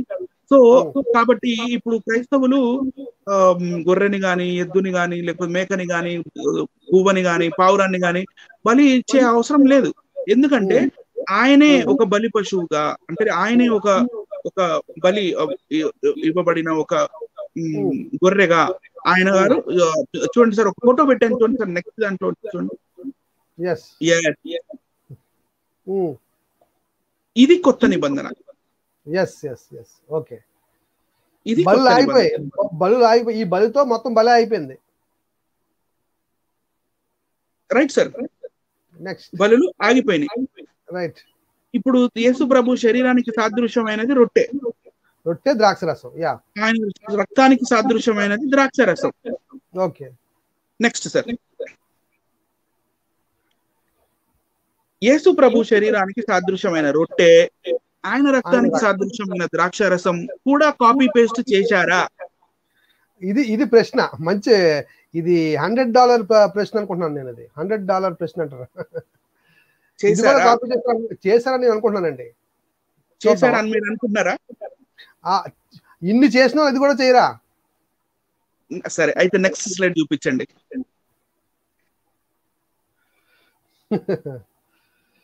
ఏంటి సార్ ఇది? ఇది కొబ్బరి ట్యాంక్ ట్యాంక్ అండి ఇది. టెంకాయ. టెంకాయి యా. టెంకాయ నీళ్ళు. Oh yeah. రెండు టెంకాయ చిప్పలు ఉన్నాయి లోపల అది కొబ్బరి ఉంది. ఓకే. అయితే ఏందంట ఇప్పుడు మాకు ఇప్పుడు రొట్టె ద్రాక్ష రసానికి కొబ్బరికాయకి కొబ్బరికి టెంకాయ ఈ టెంకాయకి టెంకాయ నీళ్ళకి ఏంటి సంబంధం అని అంటారా? అది కూడా చూపిస్తాను. నెక్స్ట్ ఓకే ఆది శంకరాచార్య. ఓకే. ఈ ఆదిశంకరాచార్యుల వారు he's a reformer he's a Hindu reformer at the same time Hindu Hindu reformer అండి చాలా విషయాలు మార్చాడు ఆయన. అవును. చాలా మంది మేధావులు ఏమంటారంటే భగవద్గీత కూడా రాసింది ఈ ఆదిశంకరాచార్యుల వారే అంటారు. ఎస్ చాలా చాలా పుస్తకాలు కూడా నేను చదివానండి. Hmm. భగవద్గీత ఈయనే తీసుకొచ్చారని చెప్పి చాలా పుస్తకాలు కూడా నేను చదివాను. రైట్ సో ఇక్కడ ఏమైందంటే ఆ టైం కల్లా ఇండియాలో Hmm. బౌద్ధిజం ఇంకా ఈ చార్వాకులు అంటారు చూడండి చార్వాక మహత్య. చారు చారువాక నాస్తికవాదం బౌద్ధం ఎక్కువ ఉండేది. ఎస్ వాళ్ళని ఓవర్కమ్ చేయడానికి ఎందుకంటే వీళ్ళు మనకి శుక్ల యజుర్వేదం మరియు కృష్ణ యజుర్వేదం బ్లాక్ అండ్ వైట్ యజుర్వేదం ప్రకారం రకరకాల జంతు బలులు నరబలులు మళ్ళీ అశ్వమేధం యాగంలో ఉన్న గుర్రం బలులు లేకపోతే ఇవన్నీ ఉన్నప్పుడు వీళ్ళు చాలా ప్రొటెస్ట్ చేశారు అనమాట ఎలా అంటే మీరు జీవహింస చేస్తున్నారు మీరు జీవహింస చేస్తున్నారు అని ప్రొటెస్ట్ చేసిన ఆ టైంలో Adishankara spiritual guru par excellence was instrumental in ensuring that his undesirable practice of Narabali and animal sacrifice was discontinued ఎనిమిదో శతాబ్దానికి చెందిన ఆదిశంకరాచార్యుల వారు ఏం చేశారంటే ఈ నరబలు ఈ జంతు బలు వీటిని ఆపేయాలి ఇమ్మీడియట్గా ఆపేయాలి అని చెప్పి oh, ఒక రిఫార్మ్స్ తెచ్చారు ఆయన. Discontinued at many spiritual centres okay okay he denounced the practice as having no spiritual sanction whatsoever. ఇలా మనం జీవహింస చేసి- చేసినంత మాత్రాన మనకి వచ్చేది ఏం లేదు ఒదిగేది ఏం లేదు అని ఆయన చెప్పి sanction whatsoever the coconut ఇక్కడ నుంచి sir important the coconut was chosen as a suitable substitute by people who did not want to give up the practice of బలి ఎవరైతే ఈ బలులు ఇచ్చే ఈ ప్రాక్టీస్ నుంచి బయటికి రాలేకపోతున్నారో వాళ్ళ కోసం ఈ కొబ్బరికాయ అనేది ఇన్వెంట్ చేయడం జరిగిందంట ఈ ఈ పద్ధతిని. ఈ కొబ్బరికాయ కొడితే అది బలిచ్చినట్లు లెక్క అది పాయింట్. అంటే కొబ్బరి పీచు ఏమో బయట ఉన్న ఈ పొత్తు ఉంటుంది కదా సార్? అవును అవును. దానికి సాదృశ్యం. ఈ కొబ్బరి టెంకాయ ఏమో చర్మానికి సాదృశ్యం. లోపల ఉన్న కొబ్బరి ఏమో మాంసానికి సాదృశ్యం. కొబ్బరి నీళ్ళు రక్తానికి సాదృశ్యం. చాలా క్లియర్గా కనబడుతుందండి. The coconut resemble the human head in many ways next why was the coconut sir why was the coconut chosen second paragraph coconut ఎందుకు చూస్ చేసుకున్నారు? The coconut resembles the human head in many ways ఈ మానవుడి తలకాయని అది represent చేస్తుంది. The coir outside అంటే పీచు పదార్థం. The coir outside resembles the human tuft of hair and hard nut as skull పుర్రె. అది ఏదైతే గట్టి డొప్ప ఉంటుందో అది the water inside the blood and the kernel is akin to the mental space another interpretation ఇంకొక ఇంటర్ప్రిటేషన్ ఏంటంటే equated the outer shell of the human being gross physical body and the kernel to the subtle body so ఇక్కడ ఏం చెప్తున్నా అంటే మొత్తానికైతే నరబలి కానీ జంతు బలి కానీ ఏదైనా ఇవన్నీ ఈ కొబ్బరికాయతో వీళ్ళు సబ్స్టిట్యూట్గా చేశారు అని చెప్తున్నారు మార్చేసుకున్నారు మార్చేసుకున్నారు అనమాట అంటే జనాల దగ్గర మంచి పేరు సంపాదించుకోవడం కోసం ఇలా చేశారు. అది అనొచ్చు ఒక మాటలో చెప్పాలంటే. కాబట్టి నేను సార్ మనల్ని చూపించండి సార్. నేను ఒకసారి నేను కాన్పూర్లో పోస్టింగ్ ఉన్నాను కాన్పూర్లో. పెద్దగా ఇవన్నీ ఏం తెలియదు అసలు ఆ టైం అప్పుడు. నేను ఏదో డ్యూటీకి వెళ్తా వస్తా ఉండేవాడిని. మా ఇంటి ఎదురు వాళ్ళు ఒకసారి సత్యనారాయణ వ్రతం చేస్తున్నారు సత్యనారాయణ వ్రతం. సత్యనారాయణ వ్రతం చేస్తున్నప్పుడు ఇట్లానే ఆ కొన్ని కొబ్బరికాయలు తీసుకొచ్చారు. దాని పీసు పైన పీచు తీసి ఒక పిలకలాగా అట్లా ఉంది దానికి. దాన్ని అది ఇట్లా పెట్టారు. వాళ్ళు మంత్రాలు చదువుతున్నారు నాకేం తెలియదు ఊరికి అలా కూర్చొని చూస్తున్నాను.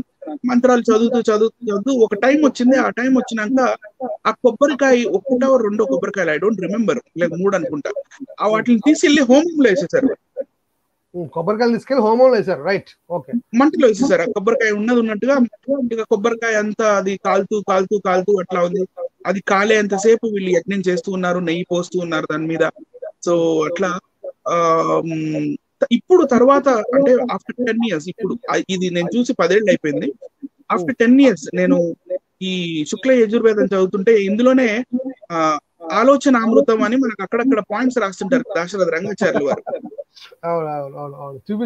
ఈ ఆలోచన ఈ ఆలోచన అమృతంలో క్లియర్గా రాస్తారు ఆయన. కొబ్బరి శరీరానికి సాదృశ్యం అంటే కొబ్బరికాయ దాని బయట పీచు ఈ బొచ్చుకు సాదృశ్యం మళ్ళీ లోపల ఉన్న కొబ్బరి మాంసానికి సాదృశ్యం కొబ్బరి నీళ్ళు రక్తానికి సాదృశ్యంగా చేయబడింది అని దాశరథి రంగాచార్యుల వారు ఆయన ఒపీనియన్ ఆలోచన అమృతంలో కూడా రాయడం జరిగింది. ఇది చదివిన తర్వాత నాకు అప్పుడు అర్థమైంది ఓహో ఆ టైంలో నేను వీళ్ళు సత్యనారాయణ వ్రతం చేసేటప్పుడు వీళ్ళ ఇంటికి వెళ్ళినప్పుడు ఇందుకా కొబ్బరికాయని లోపల పడేశారు అనుకున్నాను ఓకే. అంటే యజ్ఞం దాని యజ్ఞాన్ని ఈ విధంగా మార్చుకున్నారు అది కూడా కాపీ పేస్ట్ చేసి. అవును సార్. అంటే చాలా క్లియర్గా మనకు అర్థమవుతుంది. ప్రేక్షకులు కూడా చాలా మందికి అర్థమైంది. ఆ ప్రేక్షకులందరికీ ఒక రిక్వెస్ట్ ఏంటంటే దయచేసి ఈ వీడియోని అనేకులకి షేర్ చేయండి. మాక్సిమం అందరికీ చేరటానికి ప్రయత్నం చేయండి. ఎవరైతే కాపీ పేస్ట్ క్రైస్తవ్యాన్ని కాపీ పేస్ట్ మతం అంటున్నారో వాళ్ళందరికీ వర్తించే వీడియో ఇది. వాళ్ళందరికీ వర్తించే వీడియో. మీద- చాలా పాతది చాలా సనాతనమైనది లేకపోతే మాది అసలు ఎప్పటి నుంచో కొన్ని లక్షల సంవత్సరాల నుంచి ఉన్నది అని అనుకుంటుంటారు వాళ్ళకు కూడా కొంచెం షేర్ చేయండి ప్లీజ్. షేర్ షేర్ చేస్తారని ఆశిస్తున్నాం. ఓకే ఓకే ఓకేనండి బ్రదర్. అది ఆల్రెడీ గంటన్నర దాటింది. ఆ చక్కటి వివరణ. ప్రేక్షకులు అందరూ కూడా చాలా చక్కగా మరి ఓపికతో విన్నారు. గంటన్నర కూడా చక్కగా ఓపికతో మాతో ఉన్నారు. దానికి చాలా వందనాలు తెలియజేస్తున్నాను. వండర్ఫుల్ టాపిక్ అండి ఈరోజు. ఈరోజు టాపిక్ వండర్ఫుల్ టాపిక్. ఏది కాపీ పేస్ట్ మొత్తం అనేది ఈరోజు తేలిపోయింది. బట్టబయలు అయిపోయింది బట్టబయలు అయిపోయింది. కాదు అనుకున్న వారు నిరూపించండి. కార్బన్ డేటింగ్తో సహా మాకు నిరూపించండి. కార్బన్ డేటింగ్తో సహా నిరూపించండి. వేదాలు మరి సనాతనమైనవి సనాతన ధర్మము అని నిరూపించుకోండి. ఆ ప్రపంచానికి మూలం మూల గ్రంథం ప్రపంచాల ప్రతి నాలెడ్జ్కి ప్రతి జ్ఞానానికి మూలాధారం బైబిల్ గ్రంథం. అది మాత్రమే సనాతన సనాతనము. అది గమనించాలి ప్రేక్షకులందరూ గమనించాలి. బైబిల్ నుంచి ఏదైనా కాపీ పేస్ట్ జరగాలి తప్ప Bible is not a copy paste book అని మరొకసారి చెబుతూ ఇక్కడతో ఈ ప్రోగ్రామ్ని ముగిస్తూ ఉన్నాను. ఈ మంచి చర్చలో పాల్గొన్నందుకు అనిల్ గారికి నా వందనాలు తెలియజేస్తున్నాను. ఆ ప్రేక్షకులందరూ దయచేసి ఈ వీడియోని షేర్ చేయండి. అనేక అనేకులకి జ్ఞానాన్ని తెలియజేయండి. హేతు ప్రతి ఒక్కరికి సాత్వికంతో సమాధానం చెప్పి మరి ఆ క్రీస్తు స్థాపి స్థాపించండి వాక్యాన్ని స్థాపించండి. థ్యాంక్ యూ వెరీ మచ్ అందరికీ వందనాలు. Right sir